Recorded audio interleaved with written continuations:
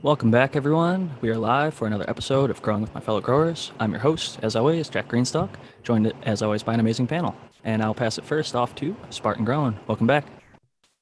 Thank you very much. Um, I'm feeling way better. I was just a little sick last week, so feeling good, ready to uh, chop it up today. Um, I'm Spartan Grown. You can find me on Instagram at Spartan Grown, all one word.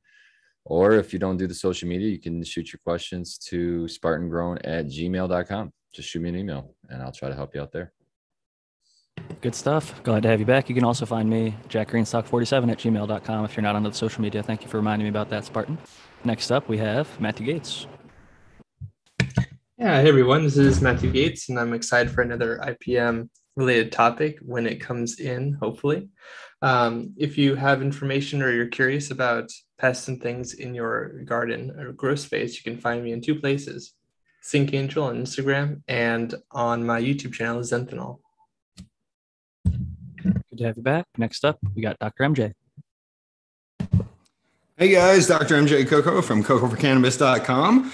I am excited to be back on the show again. I had to come this week because I've been gone so much lately, but I'm going to have to cut out early. I got family visiting, so I will go. I don't know. I'll try to stick around for the first hour, but I'm happy to be here with everybody and stoked to be talking about cannabis.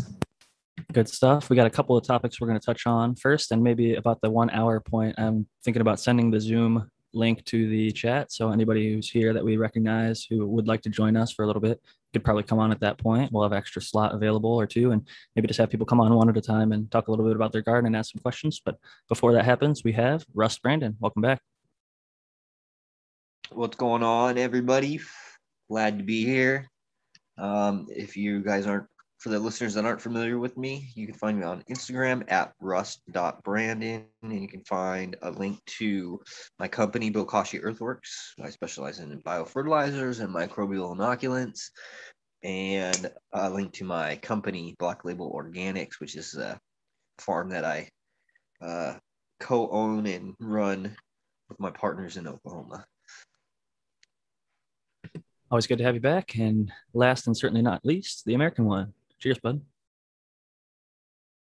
Oh, Jack and panel and everyone in chat. It's good to be here. I'm the American one on the YouTube and the American one underscore with underscore achenes on the IG. Uh, most of you can find me easily. And um, yeah, I'm glad to be here. I'm glad to have Spartan and Doc back and uh, missing predicative breeding, but uh, hopefully everybody's good. And uh, yeah, glad to be here. Glad to have you back. I've mentioned many times I'm growing your Amiaces, and I just realized uh, I was talking about how it foxtailed a little bit. Realized yeah. um, I used my PPFD meter, and at one point it was just under 2,000. So I had it way too close to the light. So I had to dial the light down and pull that branch a little bit away. But uh, yeah, the rest of the canopy was still getting a lot of PPFD. It was between like 900 and 1300 in most areas. Uh, but I have lots of CO2, thankfully, that made up for it. And they're, they're actually looking very healthy despite that and uh, super frosty going to yield well still. But uh, definitely should have used the PPFD meter earlier in there. But we have a question. Uh, I think this is pretty much directed at myself and Spartan Grown from Salbly Denberg. It says uh, it would be cool to go over SIP type containers on your show sometime, since you're one of the only shows I know that has at least two SIP growers. Just throwing it out there. So shout out to them. I know Spartan has a different style of container that I do, but it's also a SIP. So I'll pass it first to Spartan Grown to uh, just kind of describe your setup, what the brand you have is or whatever, and how you run it and what you think about it. And then maybe I'll give my thoughts. Sure. So SIP is just it's just stands it's SIP. It stands for sub irrigated planter. So that's all a SIP is. And what that means is is that the water is there's a water res underneath the soil column or the soil block or the media. It doesn't have to be soil, I guess. And uh, the roots can access that water by growing down into it or through wicking. Most of the water is done through wicking from that subterranean water source. I guess is the best way I can put it.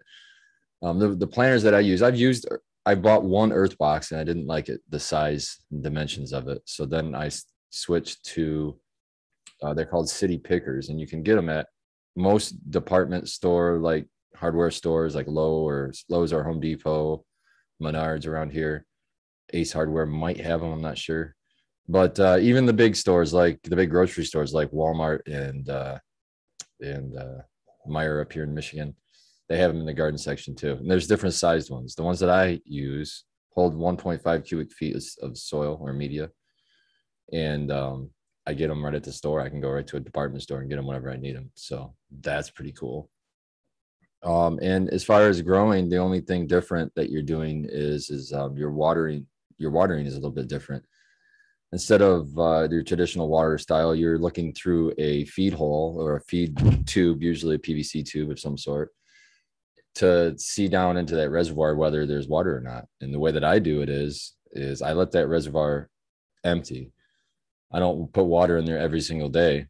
I look down there with a flashlight, and if I see water down there, I don't water it. If I do not see water down there, I do water it.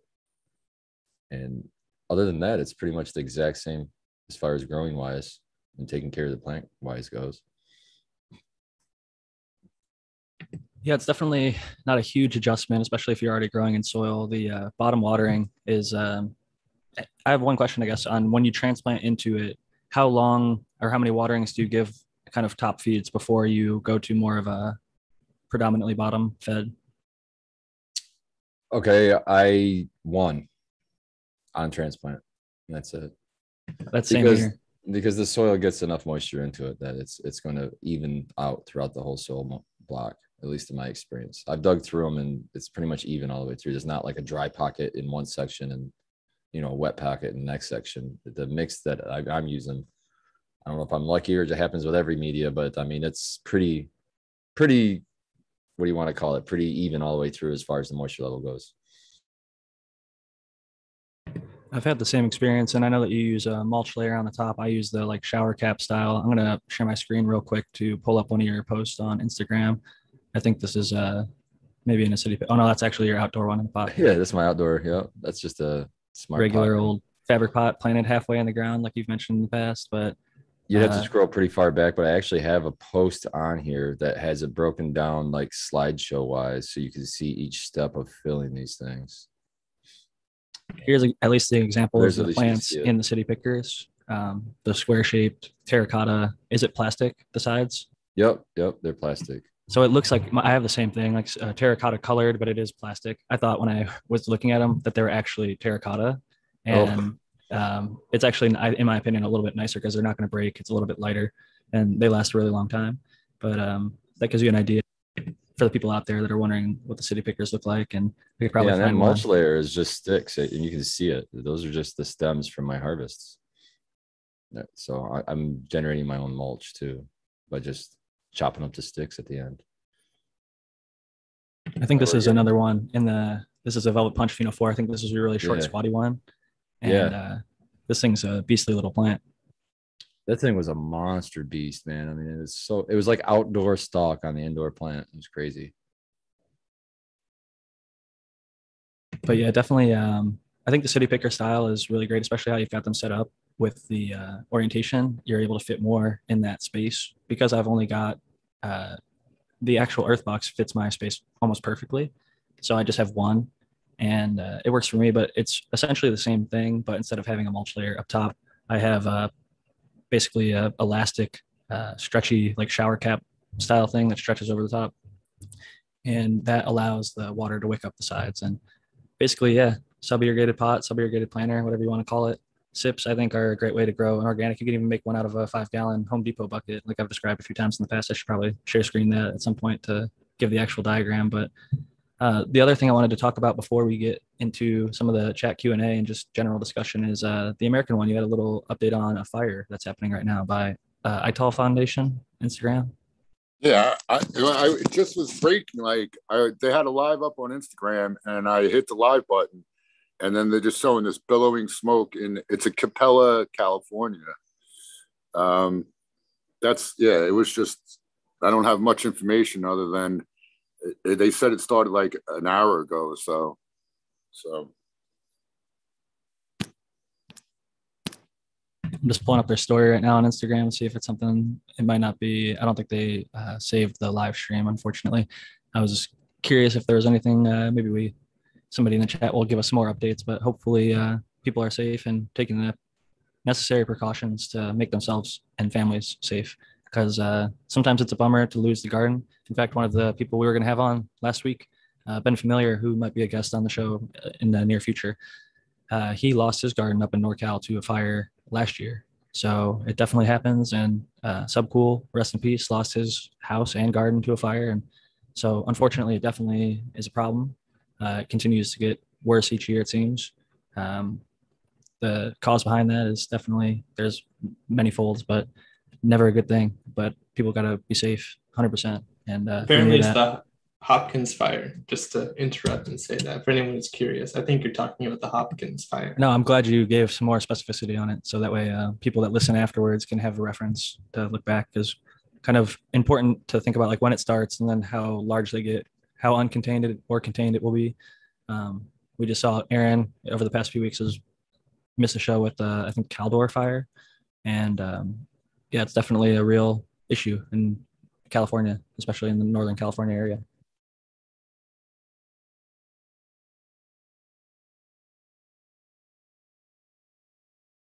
the another question following up the uh, SIP conversation was uh, growing with LEDs. Uh, the temps get up to 85. Water and SIPs getting too hot. Uh, do you have any concern about that? For me, the temperature at the lower part of the grow room is typically, I want to say 10 degrees cooler than the hottest part up at the top of where the canopy is. It's like usually in like the high 60s, low 70s, I would say, versus the canopy is like high 70s, low 80s, ideally 78 to 81 or 82. Um, 85 is definitely higher than I'm comfortable keeping it. If it's like that for a day or two, okay. But uh, ideally, you want to vent that out or maybe condition the air somehow to cool it down. Yeah, I would say this is one of the issues with uh, the method. Although you're not really, I mean, one of the things that happens with warmer water is it doesn't hold dissolved oxygen. Um, that becomes a problem for anaerobic bacteria and for plants, although with the SIPS method, you're not really depending on oxygenated water as much as you are with a top feed method. One thing that benefits like uh, the SIP style of growth, I use Brandon's Micro Plus, but any uh, facultative anaerobe uh, microbes that can work in that environment. And the other thing is, I think it holds, I want to say two and a half or three gallons in the reservoir, but not filling it to 100% capacity. So if you're thinking about the pot, uh, let's say the top 80% is medium, uh, your soil. The bottom 20% is a reservoir, right? And let's say I fill 10% of that reservoir, there's still that 10% air gap between the roots can hang down and have some air, some water, and also be in the soil. So I try not yeah, to fill it all the way until it's overflowing. So at least there's some air kind of accessible to the roots, hopefully at yes. all times. Yeah, and just with the whole bottom feed method, there's always going to be sort of more oxygen in the rest of the root zone that, that can somewhat compensate for the lower dissolved oxygen content of the water. And that's really why I've, in, that's why I was the theory behind why I water the way I do. I don't fill them every day.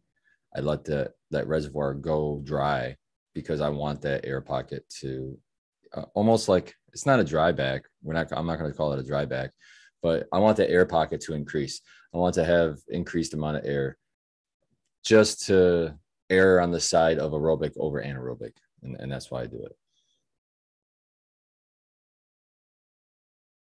And you really consume all your water, which is awesome. You don't have runoff. And it's it's very like if you check I check twice a day. You have a pretty good grasp on how much water they're taking up when they're taking it up. This is uh, Cheddar Bob 13, a Maine grower who's growing some cherry pie and some earth boxes outside you'll see when he goes down and pans down in this video, he lifts up this. This is the earth box style that I'm using. Look at these roots. Unbelievable. It's just filled out that pot so well, in my opinion. I mean, for organic soil, it's got access to like the, I think there's a lot of worm castings and other high nutrient content at the top layer. Well, that's what it should look like under your mulch layer too. Yeah. So it's, it's working uh, as it intended. And you can see these are some big healthy plants. So cheers to Cheddar Bob. When I saw this, I was like, damn, like I've had my roots pretty close to that, but this is one of the better examples I've seen of somebody peeling back the thing and just having really beautiful white, yeah. uh, just tons of like fishbone and a whole bunch of thick, furry, healthy roots. So uh, these things can work really well with cannabis. And uh, just wanted to give a few examples for the people out there that are curious what they look like, how they work. Um, in ag, you'll see that referred to as plastic mulch. I mean, you, you'll see them run a whole row of that down like acres of fields. Yeah, uh, I live here in uh, near Carlsbad, California, where there's uh, strawberry fields where there's just tons of it. Uh, it's not my favorite for large scale ag. I think they can do like I saw Grandmaster Level had some outdoor stuff, and I thought it was plastic. And somebody made the comment like, "Oh, there's so much plastic mulch," and then he goes, "This is actually like fabric paper or something," but it looked like a plastic mulch. So similar concepts, but I think it's more biodegradable. Um, so ideally going for that, or just like a natural mulch, like a straw, hay, um, anything. I think even like wood chips, but people get really upset when I say that.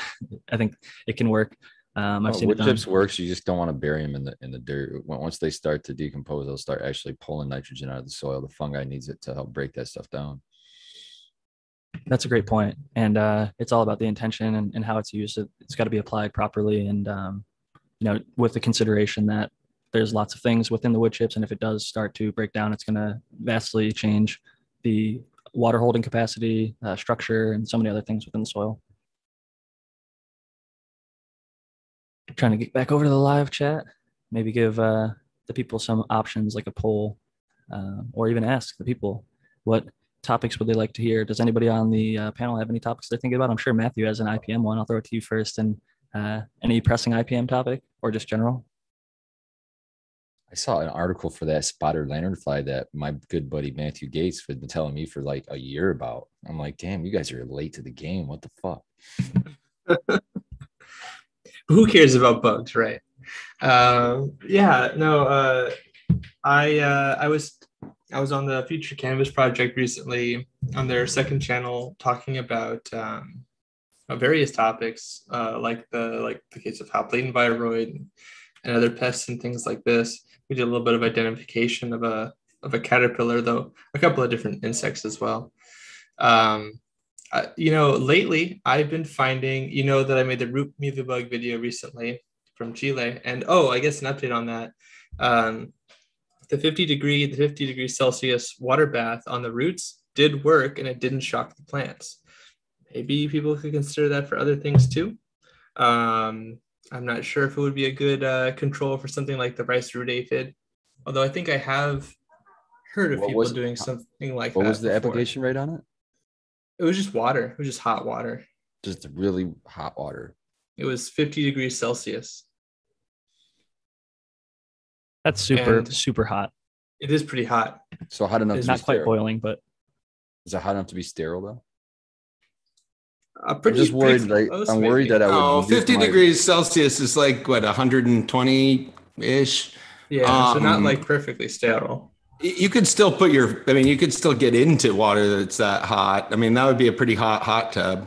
I was gonna say it's, it'd be like kind of a hot jacuzzi. right? Yeah, but it's not like boiling. It's not sterile or anything like that. It's not You boiling. I Still, I, definitely mean, you could still leave your hand in it. 122 is definitely not hot tub though. Like the hottest hot tub you'll ever get in is like 106, 107. After that, there's like it'll start damaging your body and like give you like flu lights. Yeah, symptoms. well, there's like thermal baths that get up to like 120, but yeah, they tell you not to stay in them for like more than 30 seconds or something. Yeah, I agree. Yeah, but so- you can, you can. I mean, it's not like getting into boiling water; you'd be instantly killed. Agreed, but it's definitely not good for those mealy bugs, apparently, which is a good strategy. I, I love the temp gun because I'll go over to my sink and as I'm running my water into my uh, little, you know, uh, pitcher to pour it into the plants, I'll shoot the laser in there and I'll see, oh, it's uh, 66 degrees. I'll turn it a little warmer and try to get it right on 68 because that's where I've been told there's the most dissolved oxygen and plants seem to really like 68 degree water. Um, I mean, yeah, like, and I love that such a low tech uh, way to go about it, right? Like, there's it's not a traditional chemical application, I guess. and um, uh, yeah, I've been, I'm gonna have some videos coming out talking about um, uh, specifically uh, new insects that we find and other other pests in uh, in cannabis generally. I've been seeing a lot more people asking me questions. It's about that time of the year in North America with um, you know various caterpillars are either coming out or they're going to pupate and you're having like uh, moths and things come out as well um, uh, and also i'm seeing a lot more people asking about stink bugs and their little nymphal forms and their eggs that look a lot like uh, uh, their nymphs at least look a lot like uh, ladybugs and people will uh, confuse them a lot and um, one other thing was uh, termites. I think I've mentioned a few other times before, but I'm seeing a lot more like termite activity associated with people in cannabis. I think somebody was in, uh, I think this was in like uh, Virginia, where I was getting videos about that recently um, from various people. So that's I've just kind of. termites once in my cannabis. And were they attacking your plant? Well, what had happened was, so I had a whole bunch out in the wilderness, and these two started yellowing out, and I was bugging out a little, like, what the hell's going on? And I investigated. I didn't see any bugs on the outside. I didn't see anything funky.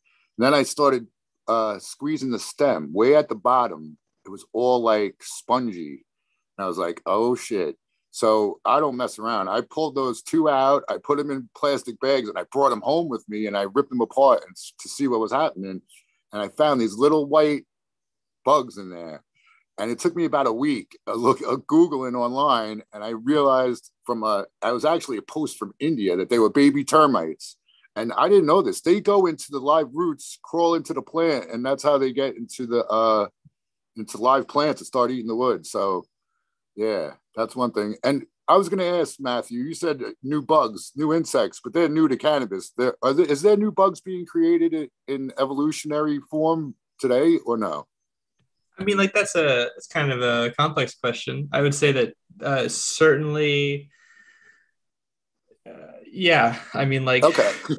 in a Yeah. way, um, We're but, always uh, evolving at some, yeah, some exactly. capacity, and then at the same time, we haven't discovered everything. So we might think this is a Yeah. new. I should bug. probably be very specific with my words. I love to be right. Um, but uh, yeah, more like new, more like newer, probably even not even new to cannabis in some cases, just new, newly documented at the very least to me, and Right. also to other people. But um, uh, you know, that's kind of the cool thing. Like when I made the the root mealy bug video, um, other people came out and talked about the root mealy bugs that they had come across after they'd seen the observational footage. So that was a really endearing uh, interaction.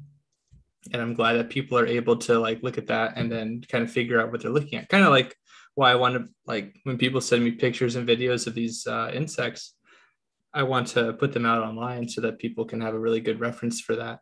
And Brand- as kind of like a little um, like APB, a little alert bulletin. Brandon, I see you got your hand up. You can go ahead and jump in. Yeah, one of the insects that I'm seeing on cannabis that I hadn't seen before is cucumber beetles.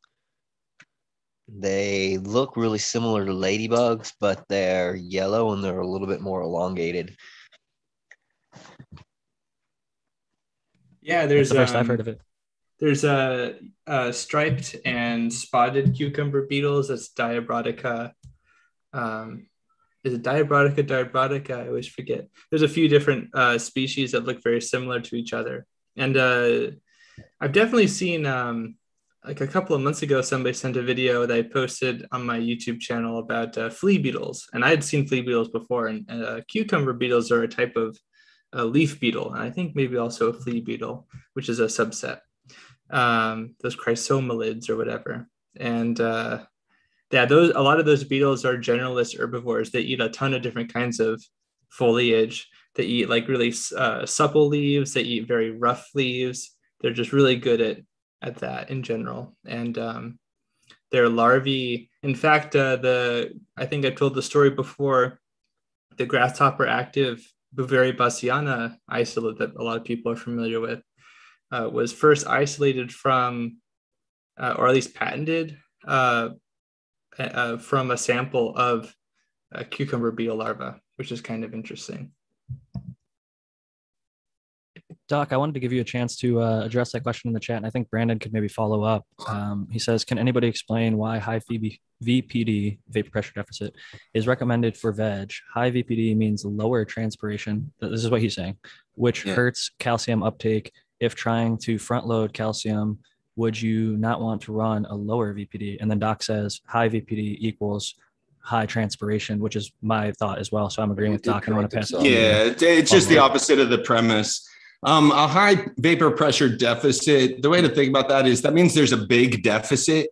That means the air wants a lot of vapor. It means it wants a lot of moisture. So the air will suck the moisture out. This is like a hot, dry day that you've, you know, dries out your skin. Um, that's because there's a deficit in the air. It doesn't have as much moisture as it could carry. So that's what vapor pressure deficit actually sort of means. So the higher the vapor pressure deficit, the more we sweat, the more plants will transpire. Um, and the recommendations are usually a little bit different than that too. So most recommendations start seedlings or clones with a very low vapor pressure deficit, um, move it up during um, vegetative growth to what is really a healthy vapor pressure deficit. And then often you'll get recommended to, to move it even higher than that for flowering.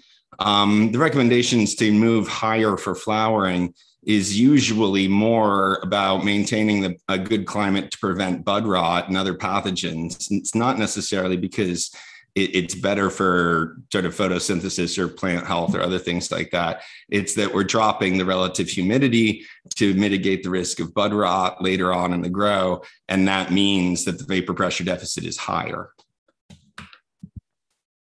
I think that was well addressed. Brandon, do you want to add to that? So the way I understand it, as far as when you have a lower vapor, VPD and you're able to uh, move calcium into the plant from solution easier. So it's easier to front load the calcium in veg to get the adequate amount that's going to help. So that way, because what like with the style that I do, I do that I front load calcium and and nitrogen in veg that way I can push, I can cut off the calcium amendment and then push potassium harder um, on the onset of um, the flower onset. So once there, actually, you start to see the onset of flower is when I change, not when you flip, not when the light cycle. Yeah, I I would even think you could put it off later than that until the buds start developing to sort of a point where you have to worry about managing the humidity for them.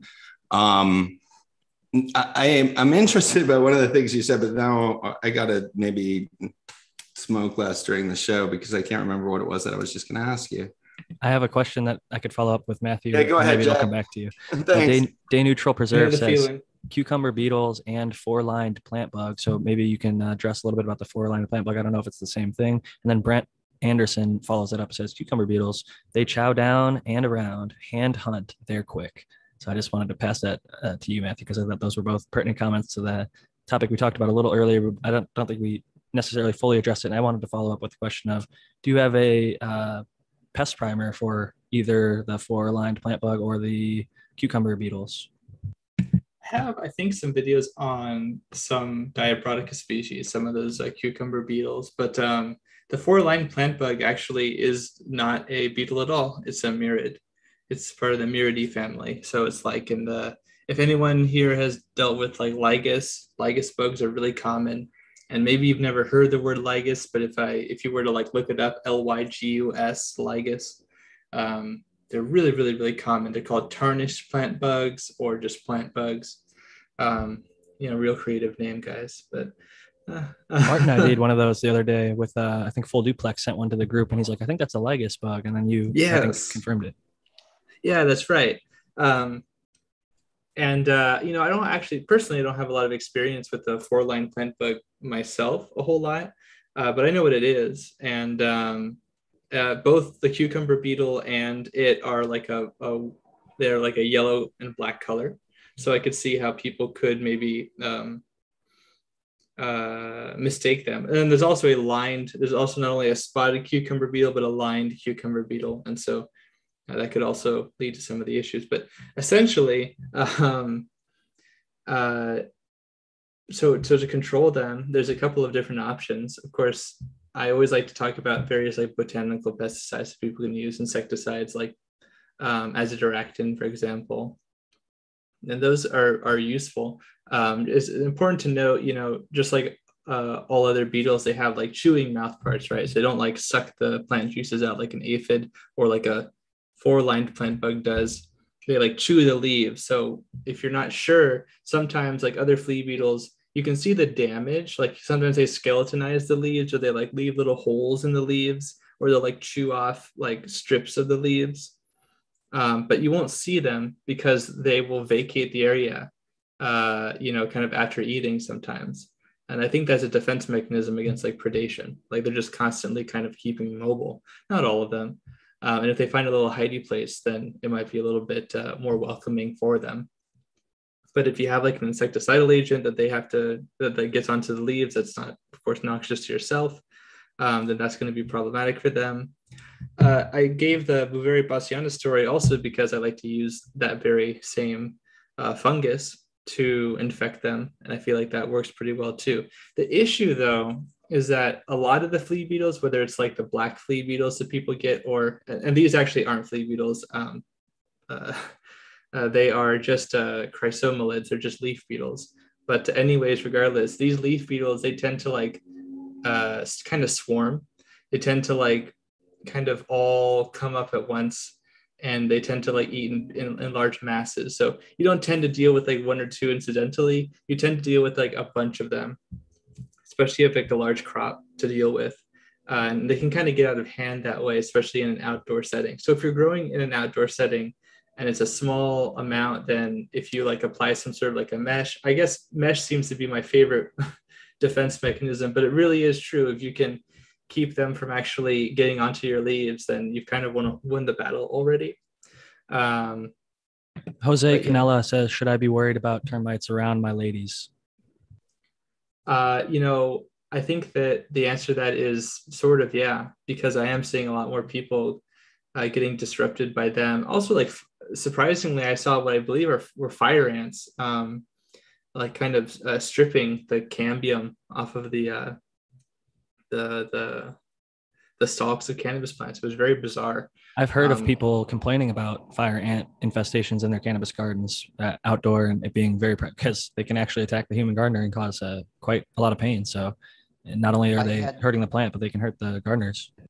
I had a client that uh, I still work with, and they were having an issue with ants, and I ended up using a trick that Matt told me about, and uh, it was I did that here at my house too. You have to bait them with mm-hmm. the Beauveria bassiana because they'll avoid it, and they'll also like clean themselves real well, and they won't let other workers back into the colony that are infected. So you have to hide it in something that they can't recognize the, the fungus, it seems like. But uh, if you do it properly, you can take out the whole entire colony.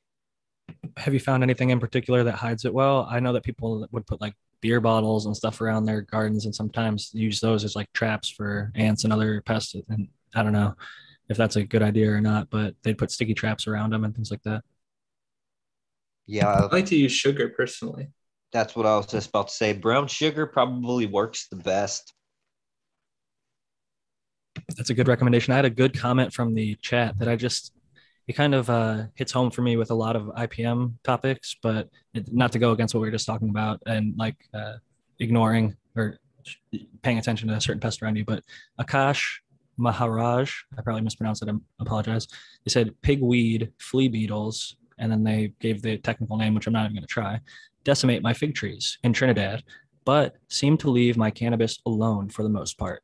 Now, that's interesting to me because I've seen that on many occasions, not with just uh, insects, but also with like certain mildews. Like I've seen powdery mildew affect uh, a squash or roses and then not be the same type that'll affect the cannabis garden nearby it. But at the same time, it has also been the type that infected somebody's garden. I've seen it be both ways. So it's interesting that there can be something right next to your cannabis and have zero interest in it. But at the same time, I always kind of err on the side of caution. And like, if it is close by my garden, maybe there's a chance. So let's not uh, be careless with it and try to at least identify it properly and, and keep some separation if you can.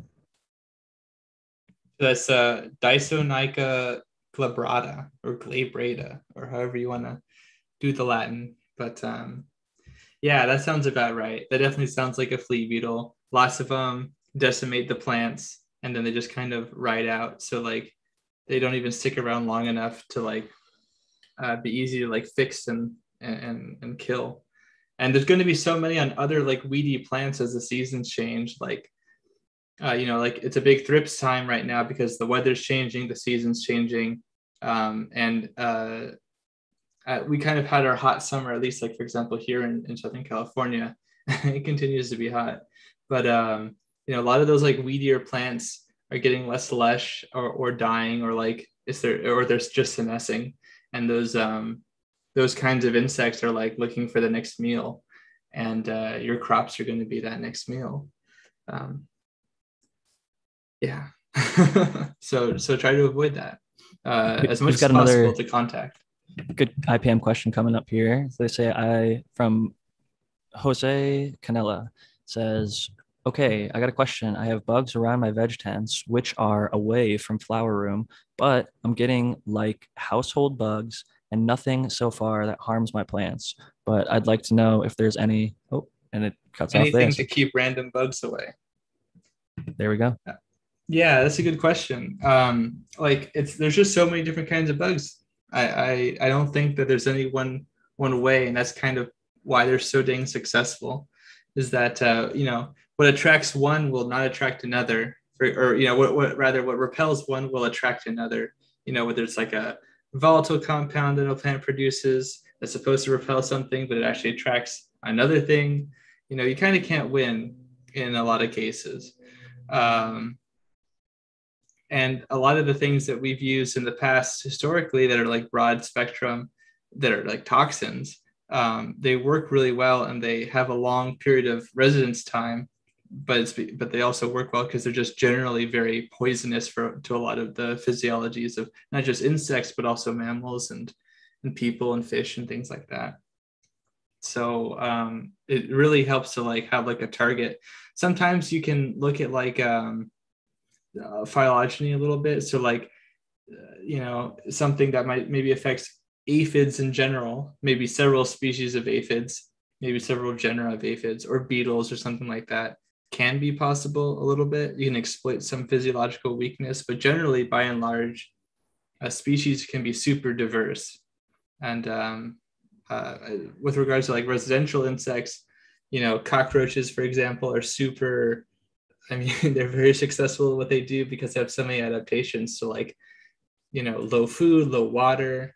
Um, they're hyper vigilant uh, against like signals of like potential predation or disturbance. Um, so they're very hard to deal with, for example. Uh, but the thing that you can use is like the fact that they're like large. They have some sort of a, like a volume. So if you keep them out of your house like that's probably the best thing you can do. If you can like caulk um, or otherwise kind of shore up those ingress points if that's possible to do um, i think that can go a long way in keeping like residential bugs out uh, in general but a lot of those aren't going to affect your cannabis plants i would say we got a question from Miranda Family Farms, and um, I'm not sure if they're aware of Beauveria bassiana, but I, I, believe it falls under the category that they're referring to. They said, "Does anyone use a myco insecticide for any pests. And I believe Beauveria bassiana is one of those, right? Myco insecticide. Absolutely. Yeah. So there's I think. Uh, there's another one too. It's the Met bacteria or uh, the Met uh, fungus. It's uh. Is that Isaria fumosorosea? Metarhizium anisopliae. That's another good one. Yeah, there we go. Metarhizium and Beauveria, I think, are, I think actually Metarhizium, Beauveria, and Isaria are, yeah, rather close. I think they're all in the Cordyceps family, if I remember right. I don't think the Met is. I think, man, I have to look. I have to look, go through my notes and stuff, but I think that was a different one. I know the Isaria and the Beauveria is definitely a cordyceps. You were definitely family. right. They are in the clavid Clavipitaceae. Good job. Spartan, Good you look like you got a nice frosty mug over there. Uh, what are you sipping on? And also, we have a sip question. Uh, coincidentally, JMG420 says, So I wonder which kind of sips would be more practical, or would you guys recommend just a simple fabric pot sitting on Hydroton, or say a tote with dirt directly in it? So, like DIY sip or buy a sip? Uh, Spartan, I'll pass that to you. Yeah, man, you can get fucking crazy with this shit. So, like with um with the Michigan Bros Grow Show, Abolished Farms has a uh, they call it um the Frugal Force, and uh, the they doing a sip method, um, like doing a whole trays at a time. So picture a four by four tray, you fill that with hydroton, and then you can just set your fabric pots on it. And that's a sip container because it's sub irrigated. Um, those ones you're going to have to be a little bit more careful with the top watering on transplant. You're going to have to top water those sips until those roots can grow down into the hydro- hydroton to access that water. So those ones you have to baby a little bit more. Also, the other downside to those is that your plants are tied in to a four by four space. They're not movable. Whereas these sip containers that both Jack and I use, they're on wheels. You can just be moved around. Um, but if you're using a big four by four scrog net, you're kind of locking your plants in anyway. So it's all situational on your space and your time and you know, on but yeah, you can you can 100% do it yourself. Uh, multiple different ways. There's probably hundreds of videos, uh, do it yourself sip containers online, indoor, outdoor, raised bed sip containers. I've seen all kinds of cool shit. That's how I would build a raised bed personally is have some sort of like a hugel is kind of like that with the dead logs or whatever at the bottom is like an aeration or breaking up some sort of like I've seen people put rocks down there, hydroton, perlite, whatever it needs to be to allow some basically aeration, the roots to flow through and have some sort of water basin below it. Um, I personally like buying them. It just makes things simple. Uh, if you're not handy, it's they're not super expensive. That's the other thing, and it's well built. Like it comes with the PVC pipe tube already. It comes with the grate at the bottom, so it keeps the soil up off the bottom. And the thing that I would prefer uh, sip that I'm buying like a city picker or a earth box over just using a pot sitting on top of hydroton um, the sides are actually wicking up where the pot sitting on hydroton is basically just bottom fed. It's not really a sip it's just bottom feeding. Um, where if you're doing the tote style like i've seen abolish puts like the easy spot pots inside of a tote where he gets massive ones or even custom yeah. made to the size of the tote where there he's actually getting the full sip effect where it's wicking up the sides and the roots really get access to all that water and uh, it just cycles better in my opinion. So if i was yeah, going to do actually, it you know i'd do that I'm a big fan of plastic over over over fabric. Fabric, yeah. Situations. No, I agree, and that's like one of the only times. And actually, I've seen um, some people doing side by sides because I think fabric got a ton of like. I hate to say it, but like there's like big oil behind that. Like there's petroleum in like a lot of these. They're like uh, it's a plastic product. Yeah. It feels like a fabric, but it's plastic. Um, but at the end of the day, like I saw some experienced gardeners that are like, you know, everybody's kind of switched to this in the last five or 10 years or whatever. I think the big um, cultivation, you know, stores were pushing them for a long time. But when people started doing side by sides in their own pots, even though like sometimes they get that roots wrapped around the outside of the pot, those plants would be bigger and yielding better sometimes than the pots that, uh, even though the fabric pot it grew out to the end and it had like a solid root ball all the way through and it was never swirled, they had a bigger, healthier plant in the pots that were plastic. So I'm curious on it, it might just come down to maintenance and what they're used to and uh, cultivation preferences and things like that. But with the just, sip, plastic definitely the, works better. Yeah, because I don't know how you guys feel, but man, it's like I didn't see any huge increase in in uh, growth or anything with a plastic pot. I did get some more roots. I did get some more root growth, I guess, around the outsides a little bit. But man, try moving a, a, a plant in a even a one gal fabric pot with one hand. It's, it's, not fucking happening without the plant tipping all over the place. It's like I can grab twice as many plants with plastic than I can with fabric. That's huge. When, once you start upscaling, you know what I mean? It's, it's fucking yeah. It's just yeah, no thank you on the on the fabric pots. Plastic's easier to clean too and reuse run after run. Where those fabric pots, oh yeah, they do if they get salt, salt buildup, it's kind of a bitch to clean them. You can run them through an industrial washer, and sometimes that doesn't even get it all the way out. So uh, plastic has its benefits, and in some senses, it can be more reusable. Um, because I know a lot of people throw out the fabric pots. They're like, "Oh, I got my they're only a, a, buck a bag or something like that, so I got my value out of it that run," and they just throw it out every run. So uh, I think sustainability is definitely always something we should consider, but performance is also. I mean, like you're talking about, like the performance of the actual person having to move it, picking up two pots in a hand, and not having them flop all over the place versus only being able to pick up one with one hand. You you really, unless it's like uh, the root ball is really, really well filled out in that one gallon pot. I don't feel comfortable picking it up by one hand. I always use two on each side if it's a fabric pot, because like you said, it kind of it'll flop and then the plant and a bunch of the medium will be on the floor and you've got a mess on your hands that you don't necessarily want. So I definitely think we uh, hit that SIP question well and uh, Miranda Family Farms we already addressed. So I'm going to go look over the chat and see if uh, anybody else on the panel has some thoughts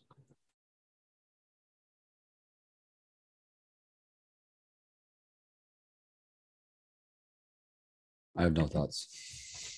That was usually good for one. He's probably still uh, tapping his mute button on that new screen over there.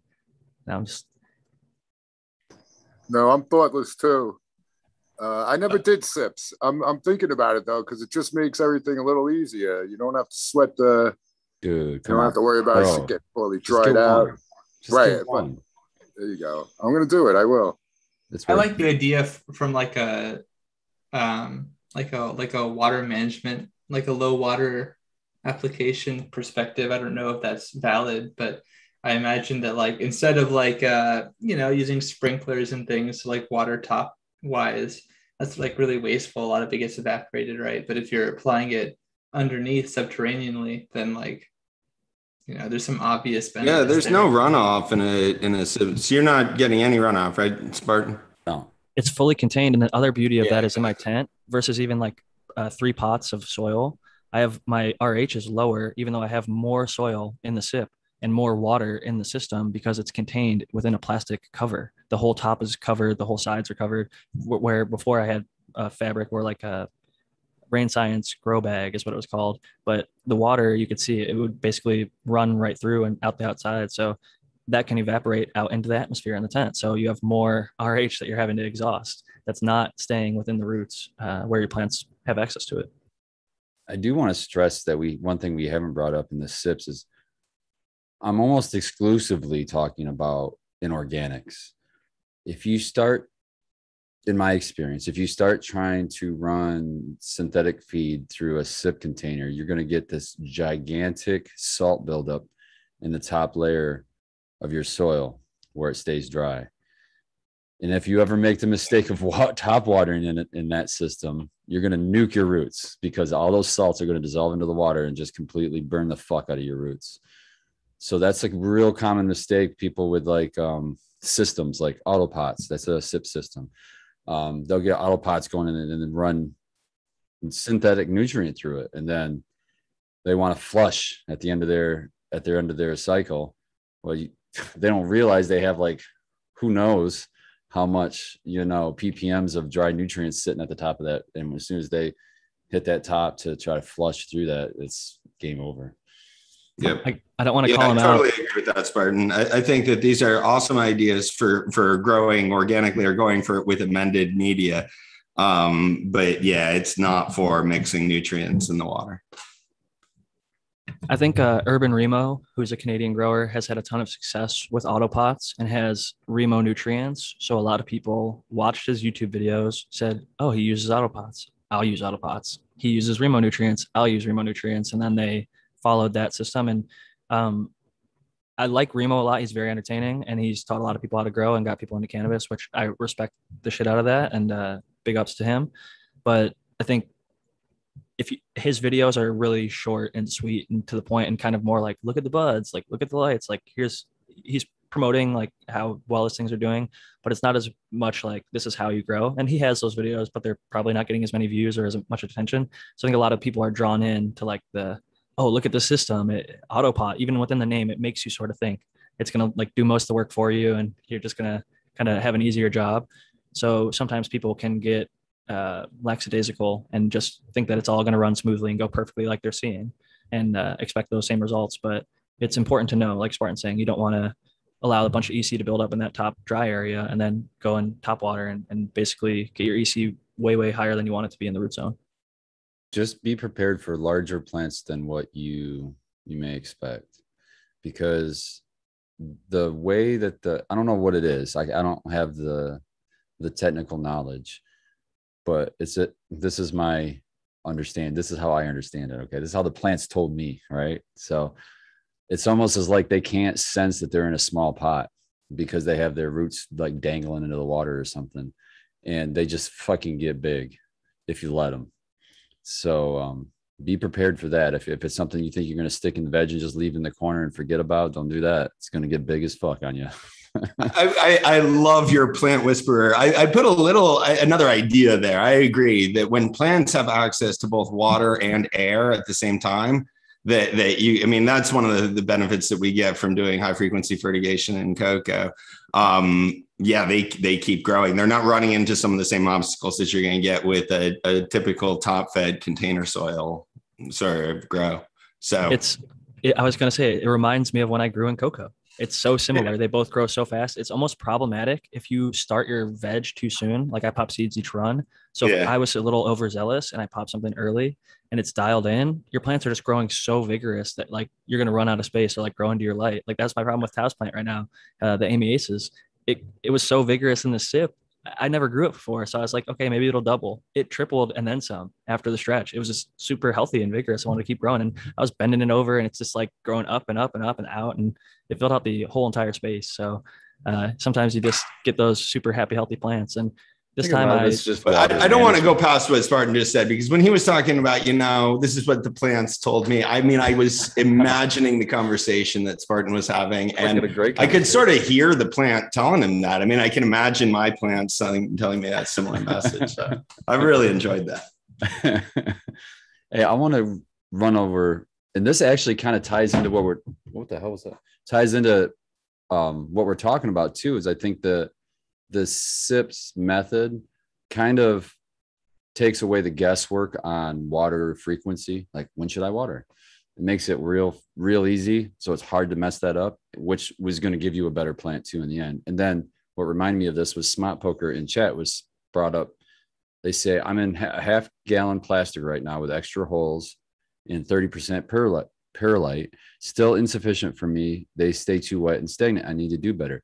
See, when I see something like that, I think you're tackling it wrong as far as putting extra holes in in I don't know if 30% perlite is more than what you normally do.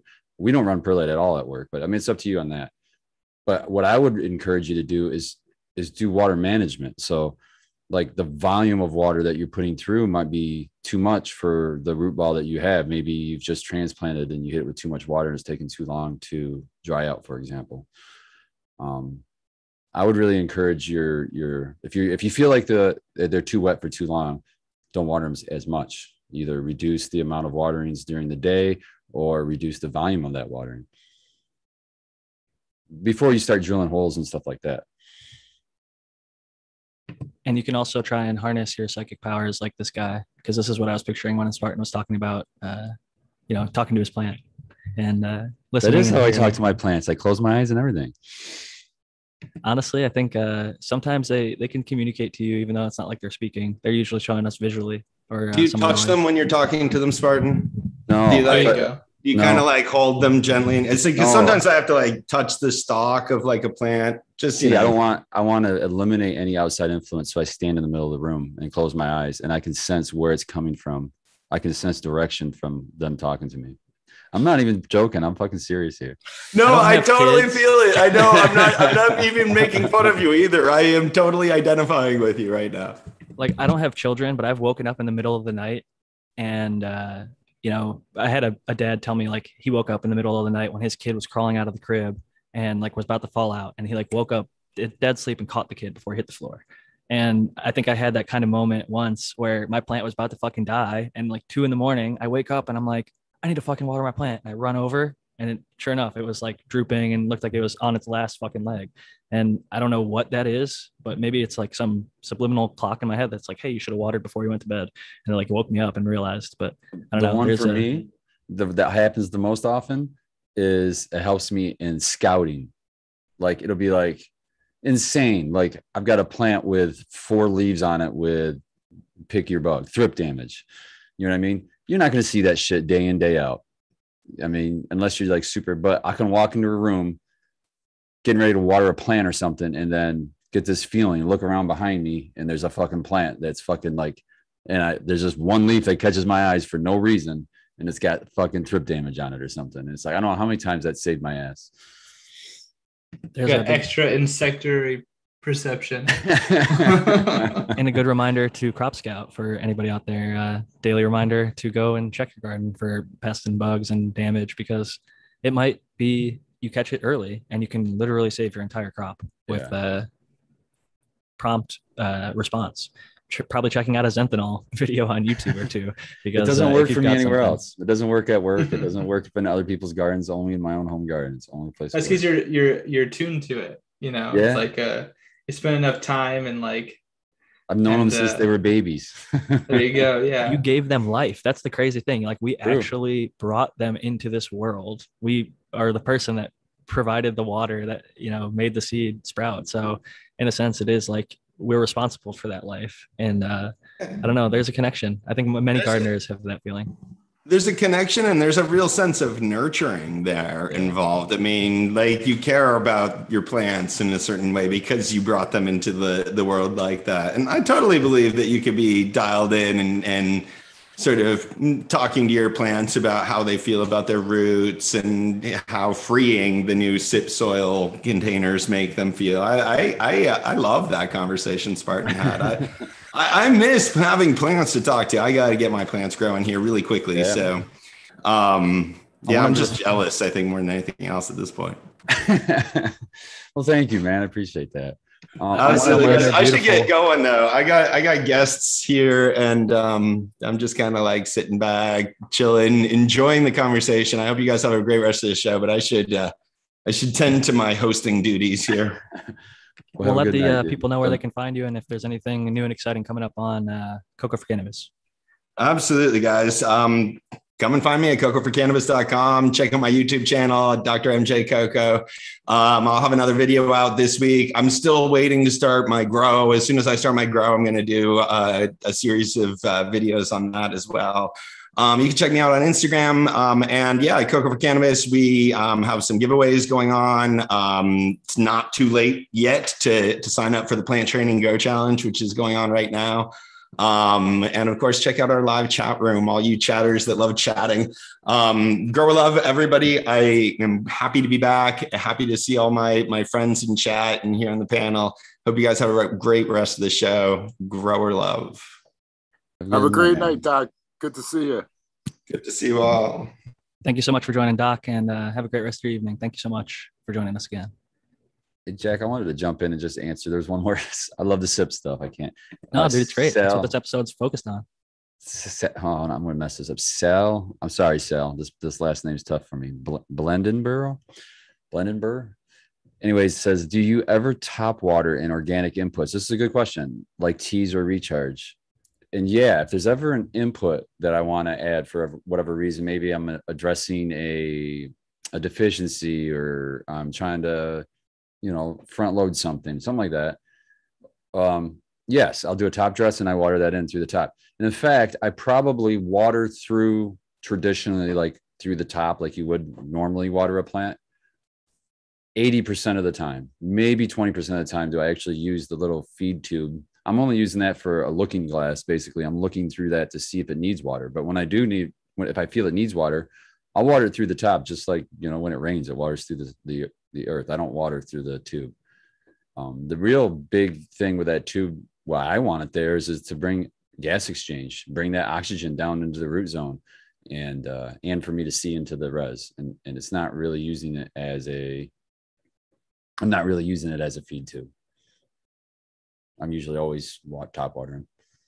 I've uh, That's why I don't use the, that's why I don't use the shower curtains or, or the shower caps like what Cap. you got, Jack. You could uh, peel it back and like top dress something and then water through it if you wanted to, but it would be difficult to be honest. I um, will add occasionally some uh, gypsum to my water because it's micronized and it's water soluble, uh, just small amounts. And then I'll also add microbes. Pretty much are the two. Oh, the other thing is uh, Brandon's got the uh, amino N plus, which I'll add to the reservoir on occasion. But I just threw the Zoom link into the YouTube, and we've got a YouTube chatter who I recognize the name of. So Scroggy Mick Scroggington, IV, or the fourth, I think, is going to be joining us. So I'm going to go ahead and hit admit, uh, and they'll be within the Cool. Welcome, Scroggy. panel soon. Scroggy is connecting, so they you- probably you can't have- hear us yet. We know N plus. If you have YouTube going, please mute it before you come Oh yeah, yeah. If you're gonna join the show like Scroggy is right now, uh, mute the YouTube. It looks like he jumped out. He's welcome to jump back in. That's uh my bad. I kind of there's like about a 30 second delay roughly uh, from the YouTube to the actual Zoom. So muting the Zoom or the YouTube will allow you to hear us through Zoom, um, while you still can maybe participate on the show if you have like a laptop, pull it up on there. But if you're just on your phone, uh, you'll probably just be best to just turn off the YouTube, and uh, you're welcome to rejoin us. I see Smiley's Garden, Kate Armstrong, uh, Simon Arden, C Dub from NorCal, Shredder 0911, Sergeant Bone, Teddy Sidesman, What About Bob, and Scroggy Mick Scroggington. Sorry, didn't know it was live. yeah, Scroggy, it's live, dude. This is uh, the real thing, the real deal. So if you're if you want to join us, you are welcome to join. I'd love to just hear what's going on in your garden. What are you growing? And if you have any questions, uh, now's your time to ask. You got the panel, and uh, we'd love to. I love when I was on or li- listening to podcasts, whether it was like the Joe Rogan experience or a cannabis podcast, a lot of the time I'd be like, oh man, I wish I could jump in there, like share my two cents. And then eventually, like having access, I think this is a nice way to hopefully pull some of these people into the community. Maybe they start their own show, or maybe they become a regular panel member if they uh, seem to be a good person. This is a, I always just like to meet the people. Think of how many people how many people came originally from this show. And and that spurred how many other shows after. You know, if you sit there and think about it, man, it's pretty crazy, man. It really is. And I wish I could. I would like to shout out the person, but they don't like to be named on the show. Ever, most people know who they are. Uh, but the Cheap Home Grow podcast creator who brought us all here, it was not Jack Greenstock. I'll tell you that. And if you've been around long enough, you know who I'm talking about. So big ups to him. Hope he's doing well. Uh, last I heard from him, he is. It's just he took a step away from the cannabis space. And respectfully, I want to, uh, if he wants some anonymity and some time away, and maybe he'll come back someday, maybe not but we're keeping the show on the road in uh, the meantime and just can't be more thankful for all the episodes that he did back when that kind of brought us together individual interviews and then ultimately uh, this podcast growing with my fellow growers we're here 131 episodes that's crazy two plus years and still running it's been a quite the ride and no plans on stopping anytime soon i can't believe it so uh such such a shy chat no one wants to jump in Well, uh I shout out to our buddy Steve. but- Our buddy Steve in chat was just asking uh to talk. He said we should talk to Matt about mosaic. I don't know if he's specifically talking about tobacco mosaic or what mosaic. There's a lot of kinds of mosaic viruses, but I'm positive he's talking about tobacco mosaic. Okay. So um, Cold I as mean, spread the wings. I'm not sure. I'm not sure what we should talk about it. Uh, apparently, there are people who have um, taken like Eliza, not Eliza. Um, they've taken like uh, basically they've used kits to detect um, for tobacco mosaic virus in uh, in plants, and they have actually uh, gotten positive readings. But um, I would be curious to know more about that kind of thing. What's the Um, transmission?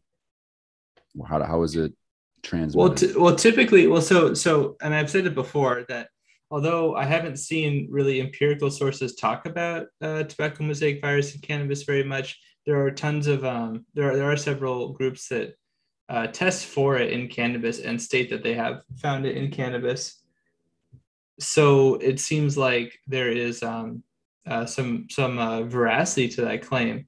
And there's really old study, like from a hard like there's a Hardowitz uh, research report that uh, tested a bunch of different um, uh, viruses on, on cannabis, but it was done like many decades ago. And um, honestly, everything from the names of certain viruses to um, they're like taxonomic uh, uh, The viruses duplicate and multiply and mutate like so fucking fast. 20 years ago isn't really going to help us, is it? to some degree it does still but you're right it's kind of well not uh, also the way that we the methods we use to like detect them are a lot different Oh, so Yeah. uh, it'd be kind of like and you know like you say like sometimes we get different strains that come out and um also we come to find out that like two things that we thought that we considered a different species maybe are, are is more better conceived as a single species and a strain of the other one you know that kind of stuff happens but um on the Future Campus project, I talked about a couple of different viruses that were in a, a German paper. Um, and basically, like potato, one that I'm familiar with uh, from other plants is called potato virus Y, um, and uh, cucumber mosaic virus. And uh, I think those also tested for positive, but that was in, uh, I think the paper was in 1997. and uh, I can send it to anyone who'd be curious to find out. But essentially, um, I've said in the past that tobacco mosaic virus wouldn't surprise me because it has such a massive host range already for plants. Um, like 300 plus plants are uh, known hosts of tobacco mosaic virus. And tobacco mosaic Right. virus is very, very um, stable outside of its host. A lot of viruses aren't, but tobacco mosaic virus really is. It can it can stay in soil for uh, kind of a long time if the conditions are right. So if it was something that like even if you suspected, if you suspected a plant had tobacco mosaic virus, would you remove that from the rest of the population because it could be transmitted just by touching leaf to leaf? Or is it going to be contained in the soil and you're not really too worried about it? No, like you can uh you can get in the soil and then infect the plant that way. Or it gets kicked or what happens sometimes is like maybe the soil like it gets kicked up and the soil particles and stuff get onto the plant and it's uh it's called it's therm it's what's called thermostable. Um, so it, it's just kind of like it's able to like be resilient in the face of like some environmental uh, challenges that a lot of viruses maybe can't outside the can't survive outside the host for very long in. Uh, most plant viruses, maybe not most, but I, I think it is actually most are um, vectored by insects in some way, shape, or form. And uh, aphids account for like way more than half of that uh, by themselves. Uh, so they're really competent. They're really good uh, vectors. I actually just posted about uh, the silverleaf whitefly and scary, scary research about it that's already been uh, published for several years is that uh, certain viruses can actually replicate in the nuclei in the cells Oh of the silverleaf whitefly. Yeah, and bind to the um, uh, they can they can bind to like salival glands and like other Oh sort of gut lumen so they can like stay on the on the insect and in some cases even there seems to be some evidence that they can also be passed vertically into the oocytes that become the eggs and if that's true uh, if that's actually a, a valid you know transmission pathway uh, then that's pretty amazing because the silverleaf whitefly vector 400 plus viruses documented and a lot of those viruses are really well known uh, with a broad host range. And when they did experiments, uh, people are going to maybe find this really interesting because essentially it was what we, what we might call gain of function because the uh, the the they took a virus that's normally not uh, um, vectored by the whitefly and they switched a gene. There's a special like uh, recognize a recognition gene or something on the sh- on the capsid, and they switched it, uh, and so and that allowed the virus that's normally not transmitted to be transmitted by the whitefly. And so, Why the, the- fuck would they even do that? Well, the great fear is because viruses replicate so well that um, it might only be a matter of time before certain viruses. Now, I'm speculating here. Because certain closely related viruses could, also certain viruses like creamy viruses, um, they have uh, bipartite genomes, and so they can they can pseudo combine and they can recombine with others that are closely related. And um, sometimes you even get two viruses getting into one cell and then the the genetic material intermixes that way. Um, so it's it's I think I think it's it's a valid concern to consider ourselves. That's about. insanity to me because usually in nature you would have competition there, but instead they just fucking work together and mix.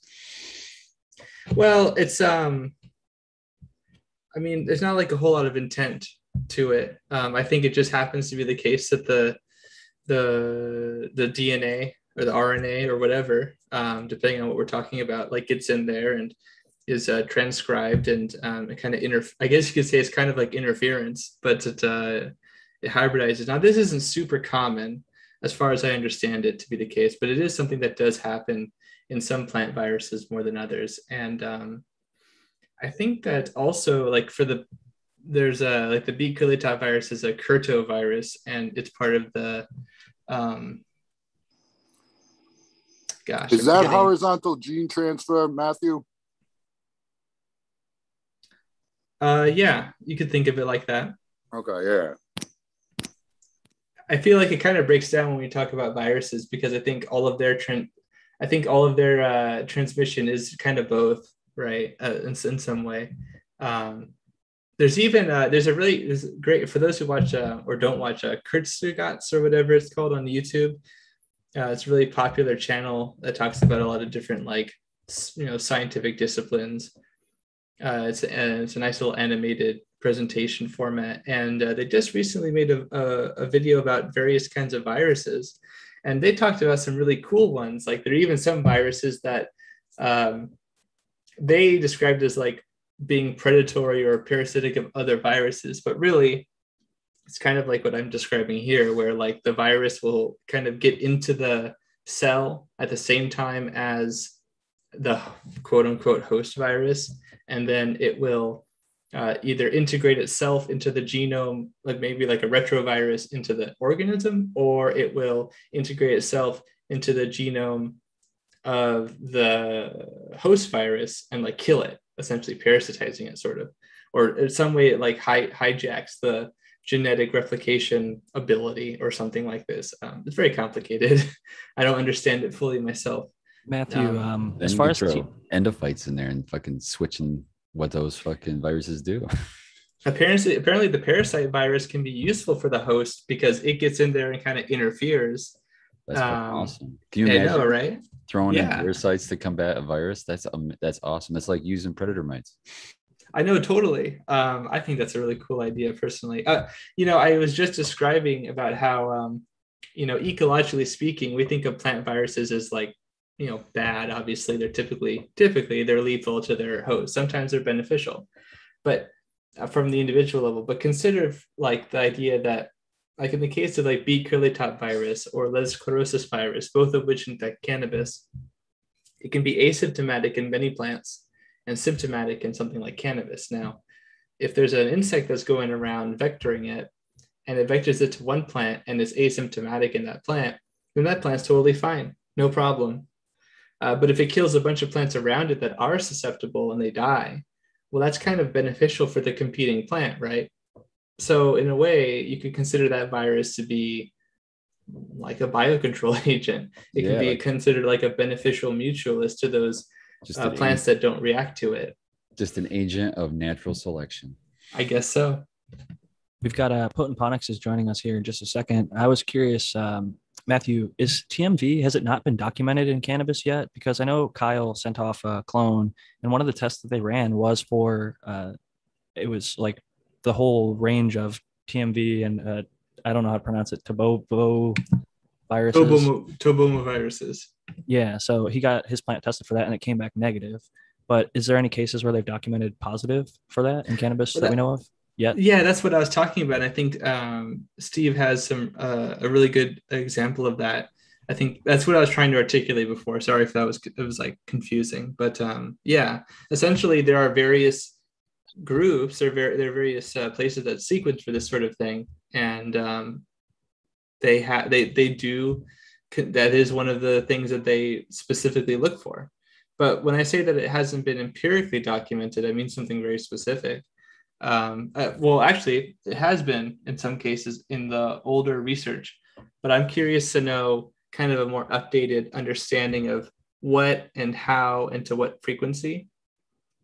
And that kind of thing is really, um, you know, a private entity doesn't have the scope necessarily or is even concerned with that information, though they probably should be. Um, and so, yeah, I'm, I'm curious to know that I want to see something very specific. And um, I think that will demystify the situation a little bit better. I'm actually surprised it hasn't already happened. And if it has, then I'm just not aware of that research. Yeah, we will see. I want to give a welcome to Steve from Potent Ponics. Welcome back. Hey, how's it going? Good to have you. Any thoughts on the TMV in cannabis? Have you seen or heard of anything uh, personally? Yeah, oh, tell yeah. your Welcome, story. Steve. Hey, how's it going? Hey, what's up, Brandon? All kinds of cool people on here now. What's going on? we got a whole panel of cool people now. We fucking made it. what's up, Steve? And the American one too. All kinds of cool people. Um, yeah, so actually, uh, uh, there's actually a paper that Israel. Oh, hold on. Sorry about the dogs in the back. Okay, I think they're done. Um, uh, the hemp streak virus, hemp mosaic virus, cucumber mosaic virus, alfalfa mosaic virus, Arabis mosaic virus, and tobacco mosaic virus have been confirmed, at least according to uh, that one Israeli paper that's often cited. Uh, I think Matt knows the one I'm talking about. Is that the Hardowitz study I was talking about? Uh, I can never remember the name of the papers. I think so. Let me see if I can pull it up real quick. It's funny. You probably did mention it, Matthew, but I was like reading comments and uh, getting back to people in chat, and sometimes stuff, even though I'm listening, like or trying my best, it goes uh, over my head while I'm listening live, and uh, I'll catch it on the playback and be like, "Oh, I asked a question that he just answered ten minutes ago." Oh yeah, I mean like uh, I didn't even bring up the name like, uh, but I think it was like in, I want to say it was like in 1967 or something like that. So it was it was quite a quite a long time ago. Um, oh, but the German paper I was talking about, um, they looked at several different viruses, uh, like cucumber mosaic virus, and I think also Arabis mosaic virus, and um, I could probably bring it up right here for everyone. Sounds good. In the meantime, I'll read a question that I think uh, Spartan. I usually defer to you, or I, I refer to one of the comments I remember you saying about having you like your worm bin separate than your pots or your earth boxes because they kind of both prefer different conditions, which I've kind of always remembered and will pair it to people that are trying to run a worm bin and have uh, you know a living soil pot type system. But the bright side grower asks, at Cheap Home Grow, how do you feel about living? How do you feel about worms in living soil pots? I ask because my pots have acquired six inches of worm castings, which I assume isn't great to start seeds in. Actually, it's not terrible. that's okay. Yeah, it's not terrible for seeds. And um the reason I don't like worm, I don't like adding worms to my to my pots. There's worms in my pots, but I didn't, you know, I didn't try. I didn't go out and buy them and try to put them in there. They just came in, you know, they were in part of my castings because I don't have a fine enough screen to to screen out the cocoons. But the great thing about worms is they're self-regulating. So if you just ignore them, they'll fucking do their thing and uh, they won't get out of control. If they run out of food stuff, they'll just fucking self-regulate and not reproduce. Their cocoons.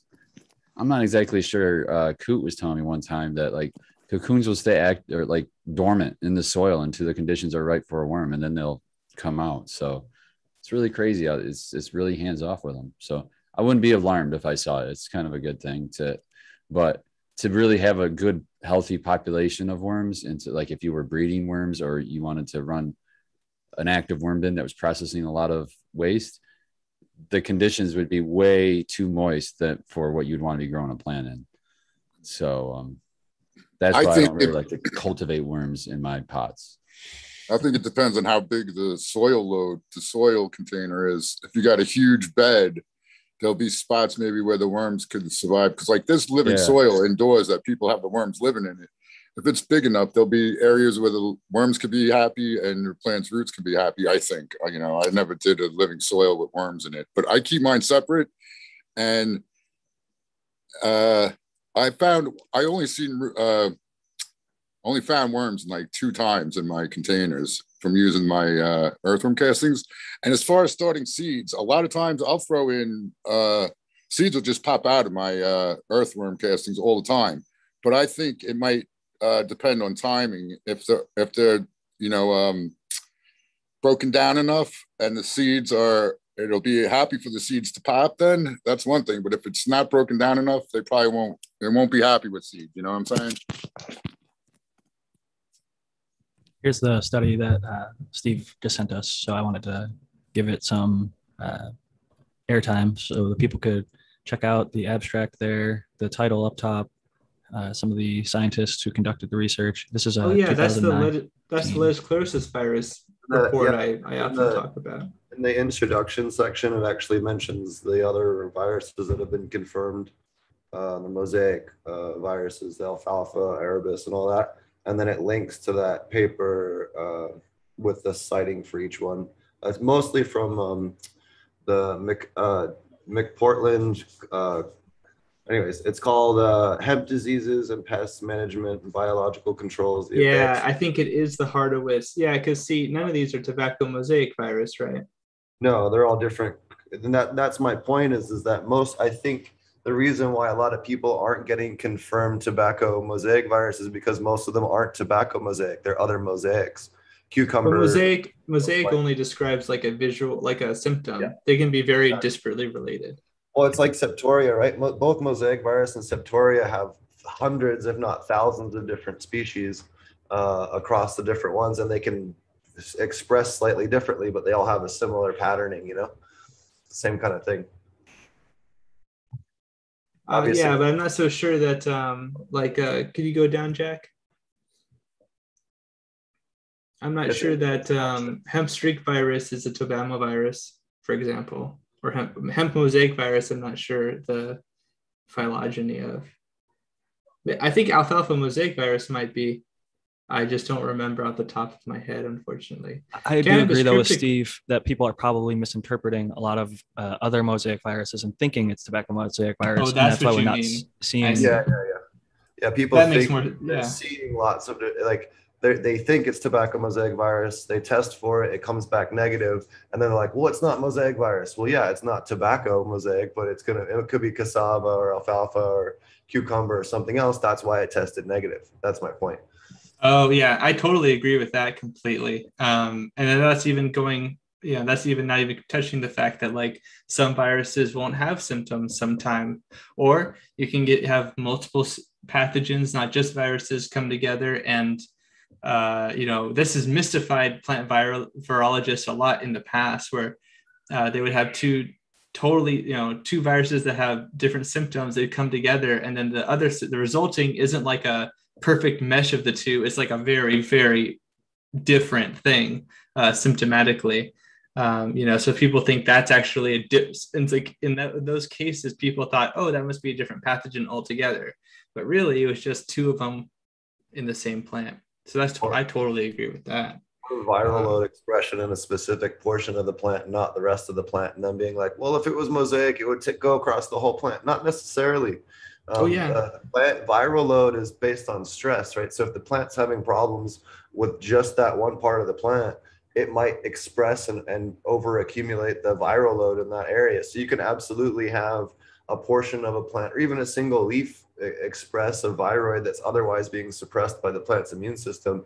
That's why you can have quite a bit of different expression uh, across it. There's a lot of, I think people don't quite understand how a viral and how I like to express this to people is like, look, and I'm going to use a real world example. Like, uh, you could have, you know, uh, uh, HIV, right, and and be on antivirals and be healthy and and eat right and and you know smoke cannabis and all that stuff and be perfectly healthy and no one would know, right? But if you stop taking those antivirals and you ain't taking good care of yourself and maybe you get into too much recreational drugs on top of that or something, you're gonna definitely visually look like you have something wrong with you after a while, right? Because that viral load's gonna go up. Plants are the same way. Mosaic virus works the same way. Um, so you can absolutely uh, have you know a healthy plant and a sick plant next to each other, and one of them's more stressed out. So the viral load it's past that threshold to get that viral load to just explode uh, and and cause that plant to express even within the same you know um, uh, seed batch. You know, have one that shows and one that doesn't, even though they both have it. absolutely I think yeah um, lighting. that's what Sorry, that's why ahead. when people when people do um, virulence tests, like we were talking last week about uh, powdery mildew, and um, you know when people do tests, when they do inoculation tests, uh, you know it's a little bit more complicated than just taking the mildew and spreading it on the other plant. Uh, you know, because they have to control for like they have to make sure that the powdery mildew isn't uh, you know, what if you happen to get a one in a hundred or a one in a thousand or a one in a hundred thousand chance of a hypovirulent powdery mildew strain, right? Or or maybe this particular strain or this particular like colony, uh, you know, just doesn't have the chops or whatever, essentially. That maybe a different strain of the same species does, and, and that kind of stuff happens all the time. Um, and, and I totally agree. Like that's that's it's the virulence of the pathogen and the sort of immune response setup uh, innately uh, of the plant, but also like how you as a cultivator are like augmenting that. So it's kind of tripartite in that way. I have the um, the German paper. I think even some of these viruses are also mentioned. If uh, Jack, you want to uh, transfer me some control. I will do that right now. And we've got a question that uh, Steve just forwarded. It's a question from chat. What are the modes of transmission uh, at Potemponics and at Cheap Home? I, I mean, so generally with plants, um, I mean, there's there's horizontal and there's vertical transmission if that's what we're talking about. Usually that's uh, mechanical, so uh, that can be mechanical, um, like with hop latent viroid. Uh, so that's when like the something that carries something some sort of fomite is responsible for transferring like equipment or even like just like brushing the uh the virufolous plants together you know uh like leaf on leaf for layman leaf out there. Leaf. if you have a plant yeah. that touches a plant next to it the unhealthy plant can touch the plant next to it and transfer its hop latent viroid from its leaf to the leaf of the next plant or you can cut into the tissue get all of that plant juice with the viroid on it, and then you uh, sort of put it into the other plant when you cut the next plant. This is actually a more crude version of how aphids and other things can transmit uh, plant viruses.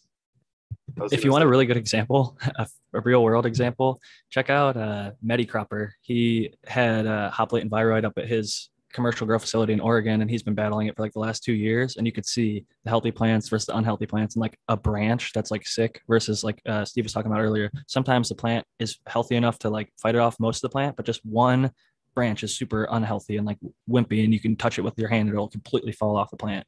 So uh, it's interesting to see, but. Uh, I wanted to let Matthew share your source now that I'm seeing it's just individual speaker view. So uh, I don't know if you wanted to share screen or some resource. Oh, it didn't give me the option.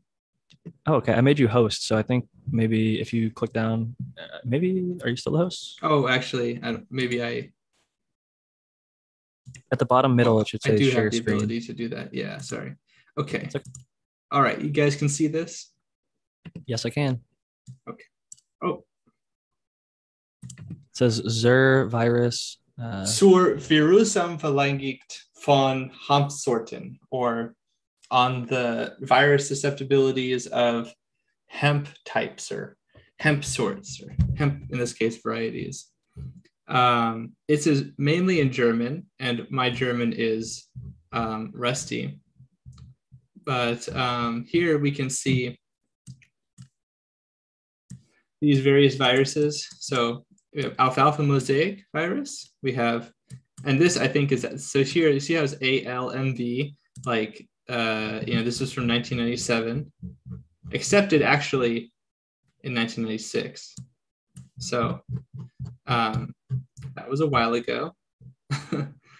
um, so this is probably, I think this is actually an old designator for alfalfa mosaic. We've got cucumber mosaic virus. We've got broadbean wilt fabavirus. We've got Arabis mosaic nepovirus. And then we've got raspberry ring spot nepovirus, potato virus X, potato virus Y, and tomato spotted wilt tosp. And, and so these are the genera: tospovirus, potivirus, potex virus. Oh, sorry, just raspberry ring spot virus and Arabis mosaic virus, but it's a Nepovirus, and there you go. So these are the genera. And, Were these um, identified in cannabis? So uh, good. So here, I just want to show you the the example here. Yes, many of these were. I want to say all except for one, if I remember correctly. But I want to, there's a table here. Right, okay. So let me see if I remember. There's I, one of these tables is a little bit more obvious than the other. Maybe we even have some German uh, speaking chat that want to fish me out of this fryer. Actually, I think it is this table. Um, so the pluses, I think, wasn't one of them not though? I thought maybe one of them wasn't. Hmm. Well, at least you can see the the the account if you guys are interested. I can send this to anyone who wants to, but um, yeah, I think actually pre- all of these are all but one. See, these negative marks mean I mean no, and the positives I mean yes. So I think the the um, potato virus Y, cucumber mosaic virus, the alpha mosaic virus were positive.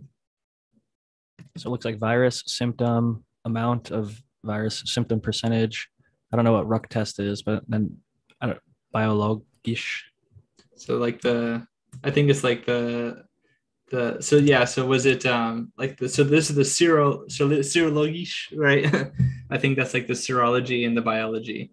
Um, but uh, I would have liked so reaction. So this is reaction of uh, hemp uh, varieties, and oh, and this was the cult of this was the variety right here. Uh, is that of inoculation with the plant virus? Yeah, I think so. We're getting there. This is our broken uh, German episode for anybody yes. out there. Yes. Uh, if if I make any errors, just let me know. Um, I did have a translation of this somewhere. I I, tra- I, I did a little Google Translate. and It was quite helpful, um, but I don't have it on me. But uh, yeah, so they definitely tested for these, and I do think that. Yeah, I think that many of these were actually uh, found to be the case. Now, I, I do want to say one thing about this.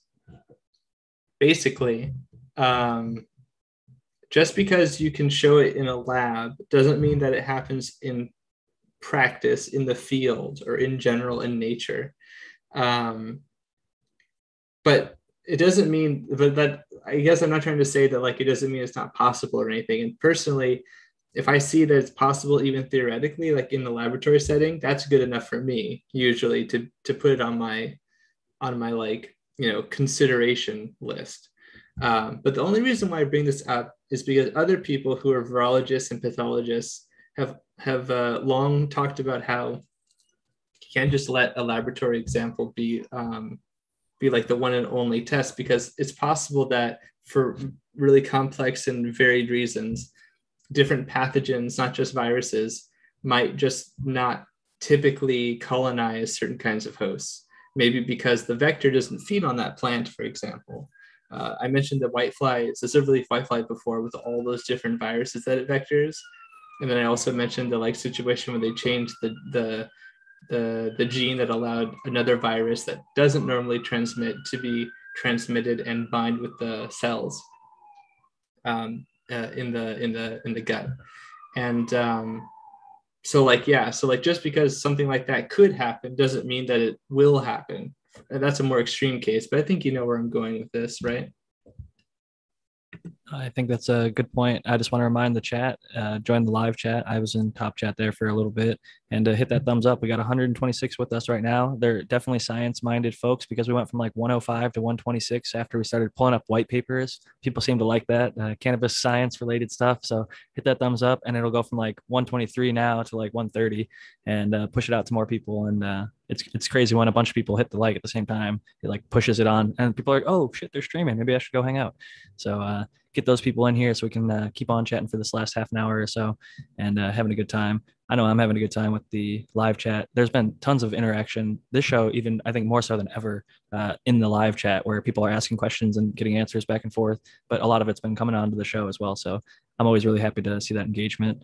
Um, like I mentioned earlier, I think that really uh, makes the show a lot more enjoyable to listen to for the listeners out there who wants to listen to a show where we just ignore you the whole time. It's we do that a lot of the time. So sometimes we'll bring you in more and uh, you know, Australian grown, Chad Westport. Good to see you guys. Sergeant Bone, uh, Eagle Gardens. Cheers to you. Saw Smiley earlier. Thunder Dan, Anova, just big ups. Uh, happy to see everybody as always, and always uh, you know, appreciative of the community who comes out each week. Um, can't you know understate our thankfulness for everybody's support and uh, continued, you know, showing up. And Matthew, I think we're still on the single speaker view right now. So if I don't know if you want to rehost me or if you just want to click on view and go to uh, gallery, so, oh, I uh, stopped uh, um, showing my screen. Oh, but I didn't stop being host. I forgot. It's okay. So you should be able to, as host, Jack. You should be able to just assign people co-host, and then the co-host can also share their screen. I think. You were now host. I've seen other people do that, but whenever I right click, it says mute, stop video, chat, pin, uh, make host, rename, allow record, allow to multi-pin. You have to go to the uh, options panel in the on the Zoom on the like not on here on Pick the, the person, I think. Yeah, on the website. Right? It's, in the, it's in the account settings uh, on the actual page where you go through all your stuff. But before you make the the same page, you go to make your meetings and stuff like that. Okay, I see. Um, yeah, it's all right. I think I think we get by for the most part with uh, I have a I yeah. have a small excerpt translation from the abstract of that paper that I think will tell will give a little bit more context for what they found. Um, if if it's if that's okay. Yeah do you want to re share your screen or do you just want to read it out Oh, I'll It's just funny- read it. It's funny you Oh. had that, Matthew, because when you were first pulling that up and you were like kind of walking through it, I was thinking in my head to jump in and say, why don't you just like copy and Google paste it Translate Google it, yeah. Translate? Now I'm glad I didn't say that. no, it was a good question. No, it was a good idea, honestly. Um, so um, basically, some of it was translated by the way already on the paper small pieces, um, but but really the crucial parts, I think, like the name of the virus in English. So uh, there's a part where they're, they're talking about how little is known about hemp viruses. They mentioned a, a Gitman and a, a Schmidt and a Carl, um, who in this in the late 60s and early 70s um, showed that various various viruses could be transmitted into into hemp. Um, they found that the cucumber mosaic virus, alfalfa mosaic virus, uh, caused like a light green leaf spotting and yellow, yellowish banding in hemp. Uh, they say that the Arabis mosaic virus in the plants in the Potsdam region. Oh, I, I think this is actually a, a mistranslated um, idiosyncrasy here, but yeah, it looks like a lot of these viruses kind of cause like a yellowing in leaves, like a lot of viruses do, and, and spotting, which might be like a mottling potentially, although they don't use the word for mottling. Um, yeah, so it looks like mo- much of those viruses were in fact uh, confirmed in this uh, in this laboratory report. But, But like I have said, one I'd like to- just Oh, on, yeah. on viruses in general. Um, if if you suspect a virus or, or a plant was affected by a virus, what precautions do you need to take? Uh, I'm sure you have to dispose of that plant, but what? Um, I mean, do I have to be crazy about not like bring a bag with me into the place and put it right straight into a bag to make sure I don't touch anything with it? Is it that crazy, or I can cut it down as long as I don't use those same tools on something else before like dunking them in ISO or something? Very good good. question, Spawn. it definitely depends on uh, what virus because in some in a lot of cases viruses aren't mechanically transmitted and in that case i would just trash it but uh, i think it's always a good idea to, to take it seriously um, even for like other pathogens too. Like fu- fungi is sometimes difficult like powdery mildew and stuff because the spores get everywhere and it's kind of impossible to really be that careful to some degree. Um, but like the most careful you can is like to like bag it and like and, and take it out. Kind of like don't shake it around or or get it close to other plants and, and that sort of a thing if that's possible even. Like turn your fans off. yeah like that. With Hoplite Um, and Viroid, I think um, Medicropper ended up using a system where they'd have like each worker would have two or three sets of scissors, and two of them would be sitting. You'd have like a red set, a green set, and a blue set. Two of them are sitting in alcohol, and like I'm working on this plant, whether I know it's got tobacco mosaic or whatever, uh, Hop latent viroid or whatever it is or not. I cut that plant only with these shears, and as soon as I'm done with that plant, I dunk them in the alcohol. I move to the next plant, and I go from red to green, and then I go from green to blue. And by the time you've gotten back to that first set, they've been soaking hopefully in alcohol and maybe it'll help. But I've heard some people say alcohol has mixed effectiveness against certain things. But um, it was just something I thought I'd bring up because I think that can help prevent some issues for sure. That's that's actually the SOPs that I use for all the cloning that I do for all my clients. Um, is actually that that exact same blade rotation, and I've seen multiple facilities where you can see I can go to the mom room and find the two strains that had mosaic, but by the time I go down to the flowering room, there's a lot more than those two strains that have that mosaic because they ain't been cleaning their trimmers. And you can walk them backwards through the whole grow and show them exactly the progression of the mosaic virus through the facility, and they'll still tell you it's not mosaic. I've done that three separate times. The other cool thing, actually, and I, I don't want to give away, I got to be careful because I don't want to give away where this was because I have mad respect to the grower. But um, there, I was at a grow in a state that doesn't have a whole lot of grows right now. It's not the one in Georgia. This is other state I was in. Um, and uh, because people are going to immediately think that one.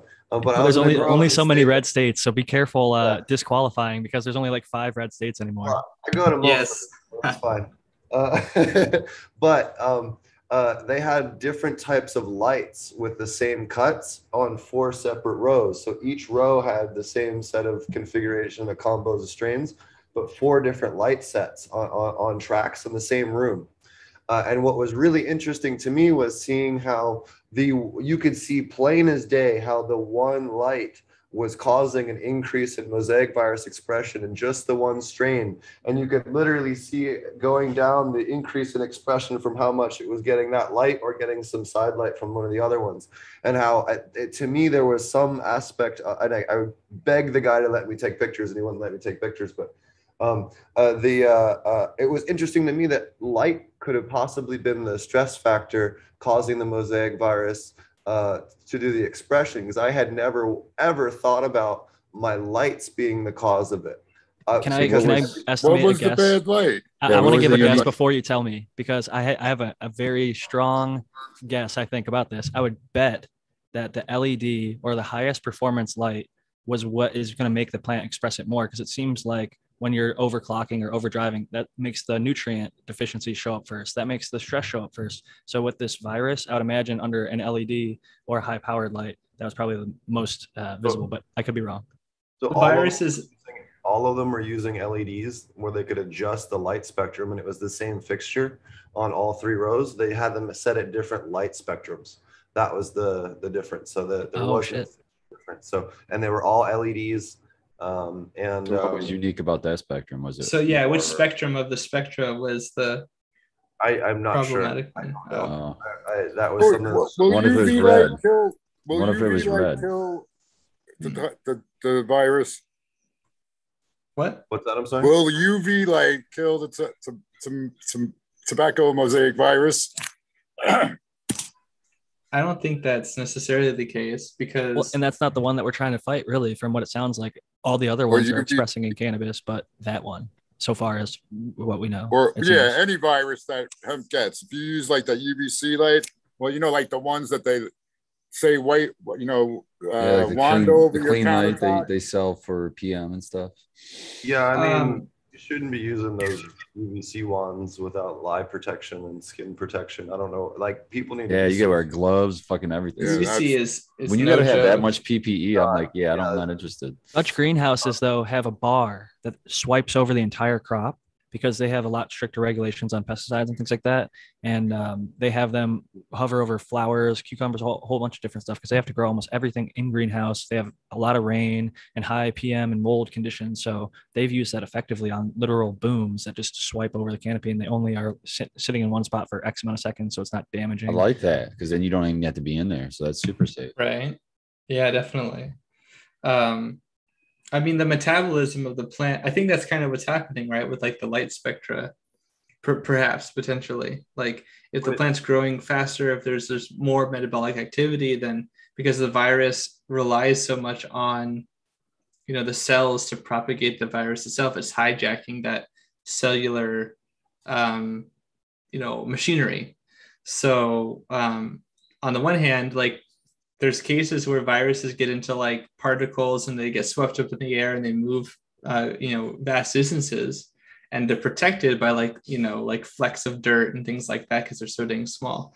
And so like uv and other sorts of things can or are sort of like interfered with. Uh, but if they're just kind of laying flat on a surface yeah i think that the the ultraviolet radiation is probably quite deleterious. Like i said a lot of viruses are not very stable outside of their host and and this is one of the bigger stressors that they have to deal with that kills them I have a question uh, about expression. Uh, you were talking about Septoria earlier, uh, but I'm more interested in. Um, I've seen some variegation in cannabis that almost looks like it could be a mosaic, or some people mistake it for mosaic. But what are your guys' thoughts on is uh, variegation something that you're seeing in cannabis? Is it a genetic occurrence, or is that likely or uh, possibly caused by a virus or viroid? Well if Yeah, it's variegated it's i would say it's not caused by a virus like kind of definitionally but that's just like a terminology thing. But yeah you can get uh, like sport mutations and variegations that look a lot like um, what we what we call like a or what like certain like virus mottling and and things like that are. And there's always the famous story of the um, the virus mania in in the Dutch with the tulips tulip mania. And uh, they were Like- breeding to If, if it's just variegation, it'll most likely be on one leaf. And if it's a virus, will it cover more? Or Oh, not maybe. most likely, but have it could be on more than one. But Sometimes. you know what I'm saying. I have Yeah, some like- side by sides here. In fact, do you guys have screen share on? I can. No. Whoever's make you a But, host. but with a I'll make you the virus, host. does it cover the plant, or is it you know smaller? It's is kind it, of um, a like we were saying earlier, it's kind of a virulence question. If the virus is virulent Okay. enough, then yeah. If the virus over is, if not right? is yeah, if it's not super so like potential, but yeah, I agree with you. Most of the time I don't feel like viruses usually if the virus isn't very good at like spreading throughout the plant, um, then I would say that the plant's usually in a really superior position. But it, I feel like it's usually the opposite, kind of like what you're surmising. That like usually if a virus is good enough to like really infect a great part of the plant, uh, a lot of viruses are lethal enough or virulent enough to really um, get to the rest of the plant. But you know, not always. I really this like to me this. is is so obviously different. Um, I can definitely recognize variegation is a lot different than mosaic virus or Oh, whatever agree. the thing on the left This is a is. perfect Yeah. example. This is how I explain it to people, like people at work or whatever, and they ask me, I'm like, a virus is gonna look like the plant is fucking not happy. Look at those leaves; they're all twisted and fucked up. Whereas the variegation, those plants, are, those leaves are a different color, but they're still healthy outside of the color. I mean, this is more like chlorosis. yeah, uh, at least on the top leaves. On the bottom, Yeah. it's a little bit more. You know, this is a very, usually special fif- kind of. As I say, I usually see it half down, like the leaf half and half is what I see. underneath the leaf is like that. You can see. Uh, I saw somebody who had some of DJ Short's work um, has that variegation fairly often in it, and I saw a guy who had a hundred percent. I've I think I bookmarked it on my Instagram, so hopefully I can find it. I think I've seen. Oh yeah, there you go. That's go. more common right there is what I'd see. There you go. Yeah, And I would call have that like a sport This is one of my mutation. I've Black seen that. cookie. what I've seen more often is just one blade looking like that middle, where it's just one blade of the five or whatever The- there are. That's The rule of it. thumb for me for like sort of mosaic patterning and things like that is that like like Spartan said really eloquently, like there's going to be kind of like a confluence of symptoms and yeah, that's a great picture to bring it upon. If the virus even has symptoms like this, then yeah, there's like there's like a mixture. There's kind of like this like uh like mottling, like we said, like kind of a mixture and coloration, whereas the other other picture is like very kind of defined. And I think that's because usually that's a genetic, just kind of a little sport genetic mutation. And sometimes people even breed for that in other plants, right? And so uh, I know there's a lot of people who like to grow aroids and uh, charge people hundreds of dollars for It's a insane. variegation. It's So insane, I know. Steve, So this That- is the that, um, craziest- this is the crazy. plant. Did, did it grow to maturity and they harvested it, or did they kill it and take it away? That that fucked up one. Yeah, We, we finished it out because it was already in flower, but that was yeah. I saw it had it had flower and some resin on it. So, and is it smoke normal, or is it like black uh charcoaly ash, or So as far as smoking, it's okay. I mean, there's nothing that wrong with it to smoke. It's just that the bud it retards growth, right? So the buds It's don't just ever more develop, flimsy. right? And they, Okay. the buds stay, stay kind of small and larfy, and they don't really develop right. So it's it's not even as a commercial, even if it's cool looking commercially wise, it's not worth it for the yield loss. right? It's it's more prudent to cut it out and replace it with a better plant. It'll only be worth it once um, ornamental cannabis cultivation, like when people start growing freak show and, and selling plants for thousands of dollars for a cut or Yeah. Something. The like there there was that uh, Monstera that was variegated that just sold for thousands of dollars a few weeks or months back. Uh, this is Caledonian grown. He has one of the most variegated. It almost looks like an albino plant to me. Um, looking at this one, it's in flower right here in this photo. I'm gonna click on their profile because I think there's more recent ones, but that was a shared or a saved post that I had made. I think this might be the variegated plant. I gotta jump out real quick, guys. Oh yeah, sorry, Spartan. I No forgot. It's totally uh, past your time, but uh, give your final thoughts and shout outs, and then uh, make sure to go support him on Michigan Bros Grow Show here in about 12 minutes. Yeah, just make it short and sweet. I'm uh I gotta run, but uh yep, you can catch me at the Michigan Bros Grow Show coming up here in a few minutes. Well, about 10 minutes or so. And uh that's on the Michigan Bros Grow Show or the Mish Bros Grow Show channel. I don't know how the hell they spelled it. It is Mish Bros Grow Show. M I C H period Yeah, I don't know why the Bros hell did they Grow Show. that? Glad you But, made it uh, tonight, Spartan. Yeah, I'm glad I, I did too, guys. Uh, it was awesome hanging with you. Shout out to chat. Love you guys. And uh, we'll catch y'all next week. Bros Thank you so much for joining. Find him at Spartan Grown, and you can email spartangrown at gmail.com. And also make sure to check out Mint Mechanico, where they're crushing it commercially over there in Michigan. Thanks for joining us, Sure. Spartan. Jack, that's really interesting. That that uh variegated or albino is all the buds on it go up a little. It turns pink. It starts getting uh, some that was a carotenoids real- or some Real cool color. Yeah, I wonder about this because um you know like uh you know there there are other like chlorophylls, right? Or or maybe that's not the right word. Um yeah, the different kinds of chlorophylls, right? Yeah, and for different Makes colors. It's Me lacking too. chlorophyll. I mean, they think that this plant just has a chlorophyll deficiency or something. And Well, it- like the green. The the yeah, yeah.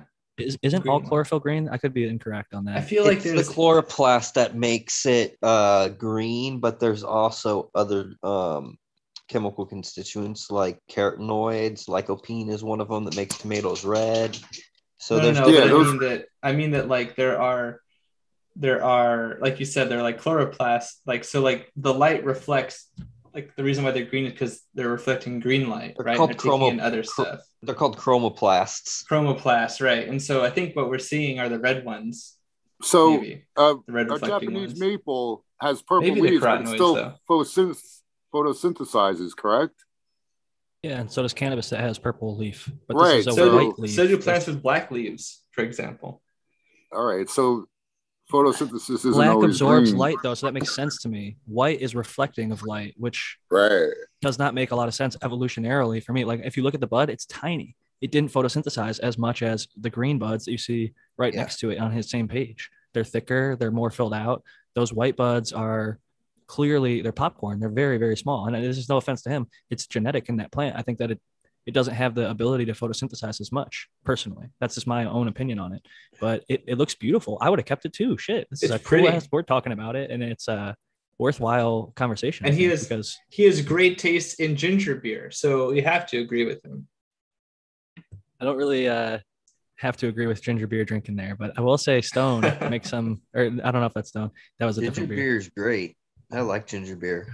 I like it was really spicy that's what I like Yeah, there's I like one spicy called- ginger There's one we use for our our um our drinks, uh, and it's called Cock and Bull. Yeah, that's cock and bull. Yeah. Is there a Good difference stuff. between ginger beer and root beer? Uh, yeah. Yes. One's made with ginger. No. Ginger Okay, is thought they were- really spicy. Uh, I mean, I've had ginger beers that are kind of not to be like a Mild. connoisseur or whatever, but like, yeah, like sometimes I feel like the ginger beers are lacking in the spice, and so Yeah, I like think ginger ale, like the Canadian dry isn't spicy at all. It's like yeah. not the same. If you're gonna make a mule, make it with cock and bull. That's what I have to say about that. I guess. Yeah, definitely. no, but that's but thanks for bringing up the terminology, Brandon. Um, yeah, like I and I, you're right. It might be carotenoids. It might be um, the what'd you call them? The chroma chromoplasts, right? They're like chloroplasts, but they operate on a different uh different wavelengths. I think they're part of the uh, part of a different photosystem than the photosystem one. I think, if I if I'm re- remembering it properly. I was just about Yeah, to say, I is ca- that some curly top there? And then I checked over in the Zoom chat and uh, Potent Ponics writes, I have some good curly top picks as well. And uh, those are definitely devastating to see. That's like, Oh, I would say mid to later stage, but uh, it's definitely going to get way worse from there. Oh yeah, here hold on. I'll show you more progressed. One second. Yeah, this is a great. These these are great photos for people who have never seen Breed curly top virus in their plants. It looks very similar to these symptoms in, in severe cases.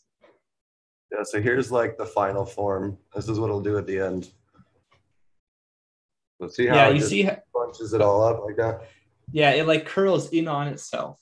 You know, like it's very tightly like wound. It looks like it's Um, trying to protect itself from light almost like when they get light stress where they're like folding up over top of itself and like it, it's almost like you're covering your head with your arms or something, you know, like that's like the how the plant looks like it's reacting to me. It's like, what the fuck's like coming, but it's a virus or a viroid, uh, beet curly top virus, right? So I seem to always be able to find a few of these in Oregon and, O- and Oklahoma. If you're doing acres and acres and acres, you're just gonna get a handful that are gonna get it. You know, it's just the, the leaf hoppers or whatever. Uh, Leaf hopper vector. Correct me if I'm wrong, right? Matt, Yeah, Matthew? yeah, it's um uh the like beet leaf hopper. Colorado has a lot of it too, unfortunately. Colorado, Arizona are the two papers in that curly top video I made for cannabis. Um, but it's it's all around globally. Uh, massive, massive um, problem. That virus causes like billions of dollars of damage annually. And it's in California and other parts of North America too. So as people grow up more and more, like Steve says, um, you know, this is the case. We will see more of it.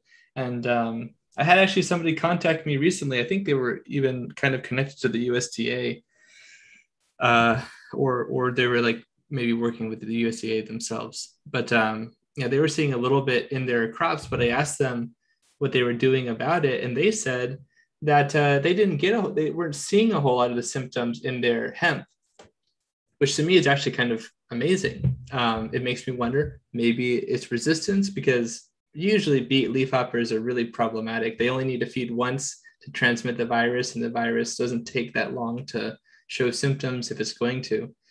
Um, but it was kind of endearing to hear that that person had not really, uh, in a, in a massive swath of, of hemp, not really seen a lot of the symptoms. So that's kind of a Matthew. cool, endearing thing. Yeah. Maybe not yet, at least. And Maybe. Have they ever uh, tried to or succeeded in making vaccines for plants for viruses? Oh Jesus. um, there. So plant physiology is very different from like animal physiology. Uh, they don't have a circulatory system quite like ours, but I think that we're probably not the first one to have such a conception. Um, They've injected in a, in way, Bassiana, right? Yeah, in, in a way, yeah, in a way, inoculating with um, like people when they do inoculation tests with like like Jack says, like with Beauveria, they literally will like take a needle and put that in the plant and like you know inject it um so that's like that is a thing people Close do. as it gets. Yeah you, you, know it's in there that way right? You can right. spray it on the outside and hope it permeates or you could stick a needle in there and jam it right into the main line of the plant you know? It seems I, to work. I, I made a, a, a, video about um, Rhopalosiphum virus, and that is a virus that infects various aphids, including uh, Rhopalosiphum rufiabdominale, which is the rice root aphid. Um, and it can it, apparently it can subsist in certain plant hosts for like a couple of weeks at most. Um, but it keeps getting it can be keep getting reinfested by other other aphids. Um, but anyways, it it doesn't kill the plant the aphid outright. It harms their ribosomes and they, their reproduction goes down, their physiology goes down. I wondered if that could be possible. People could intentionally inoculate their plants to like, you know, really screw up the aphid population, but we'll see. Alrighty. Well, with that being said, Matthew, um, you just mentioned your YouTube. Can you tell the people where your YouTube channel can be found? Because we are wrapping it up, final three minutes, and then uh, we'll close it out. Absolutely. So if you're curious about that video, you can check it out on my YouTube channel, Zenthanol. You can also find my posts about various plant health topics on Instagram at SynchAngel and on Twitter at SynchAngel. Thanks for the shout out on Twitter, Jack, by the way. No problem. Whenever I see a pest content that I think uh, you would be able to or have already made a video for, I like to uh, plug it and tag you and then, you know, give some other people the insight that like, hey, you know, you have this issue. There's a guy out there who makes videos on how to solve it. So here it is. And, uh, you know, let you know that I shared it so that uh, he can give you the credit and hopefully uh, you guys link up there. But um, next up, we have Steve from Potent Ponics. Hey, you guys can find me at the Growing with Fishes podcast on your favorite podcast app. Uh, and you can also find me on uh, November 13th and 14th at the uh, free uh, virtual online um, aquaponic cannabis conference. In fact, Matthew will be speaking on, on insects and, and other pathogens as well. So don't be sure not to miss it definitely going to tune into that and check it out. Can't beat free and great information as always. I love Potent Ponics myself. I've been a listener for a long time and enjoy the show. So happy to have you whenever I see your name pop up in the chat or uh, here live with us on the Zoom. Next up, we got Brandon Rust. Well, sorry guys. Uh, what's going on? Uh, it was good to be here. I'll see everybody next week. Uh, you can find me at Rust Brandon on Instagram, You can find link to my company, Bokashi Earthworks, and to my farm. And I'm really excited to announce that Ed Rosenthal is going to be coming up to my farm November 10th. That's really going to be awesome. That's really cool. I would just, uh, you know, be careful if you're doing any business deals with them. I'd caution that. But uh, interesting character, long lot lot of history in the cannabis community, um, and it's very interesting that you'll get to meet him. So I wish you the best in that interaction, and uh, I hope everything goes very well for you with that. And last and certainly not least, the American one. Jack, as always, thanks for hosting. You did a bang up job as usual. Um, I'll say, Rust, if you see Ed, tell him uh, Gavin is not the man for California, but I digress. Um, I hope everyone has a great week. You all know me. I'm the American one. You can find me on uh, the American one underscore with underscore achenes over at the IGs where I mostly hang out. I got a little bit of stuff on YouTube. I still always am lying and saying I'm going to put more stuff up, but I don't. So I apologize for that. I don't think everybody's that interested, but if you have any questions or you want to hit me up, just hit me up. And uh, yeah, peace out, everybody. Well, they should be interested. That Amiasis is some really fire shit, and so is the Ophelia and a lot of the other strains that you've put out there to the community. People seem to really love it. I'm uh, yeah, Jack. I think Amy. next week I want to do a stealth giveaway. We won't go into it, but next week we'll do a stealth giveaway of some beans for me. it'll be a perfect time because we're actually having another reader with us next week, uh, Full Duplex AFN, who's now known as Gnome Genetics, I believe, Gnome Autoflowers. They used to be Mandalorian Genetics. Great autoflower breeder will be joining us next week uh, again. So looking forward to that. And with that being said, uh, it's the six o'clock hour out here on the West Coast. I'm Jack Greenstalk, as you can see here behind me on Instagram, as well as Cannabis, the cannabis friendly social media app.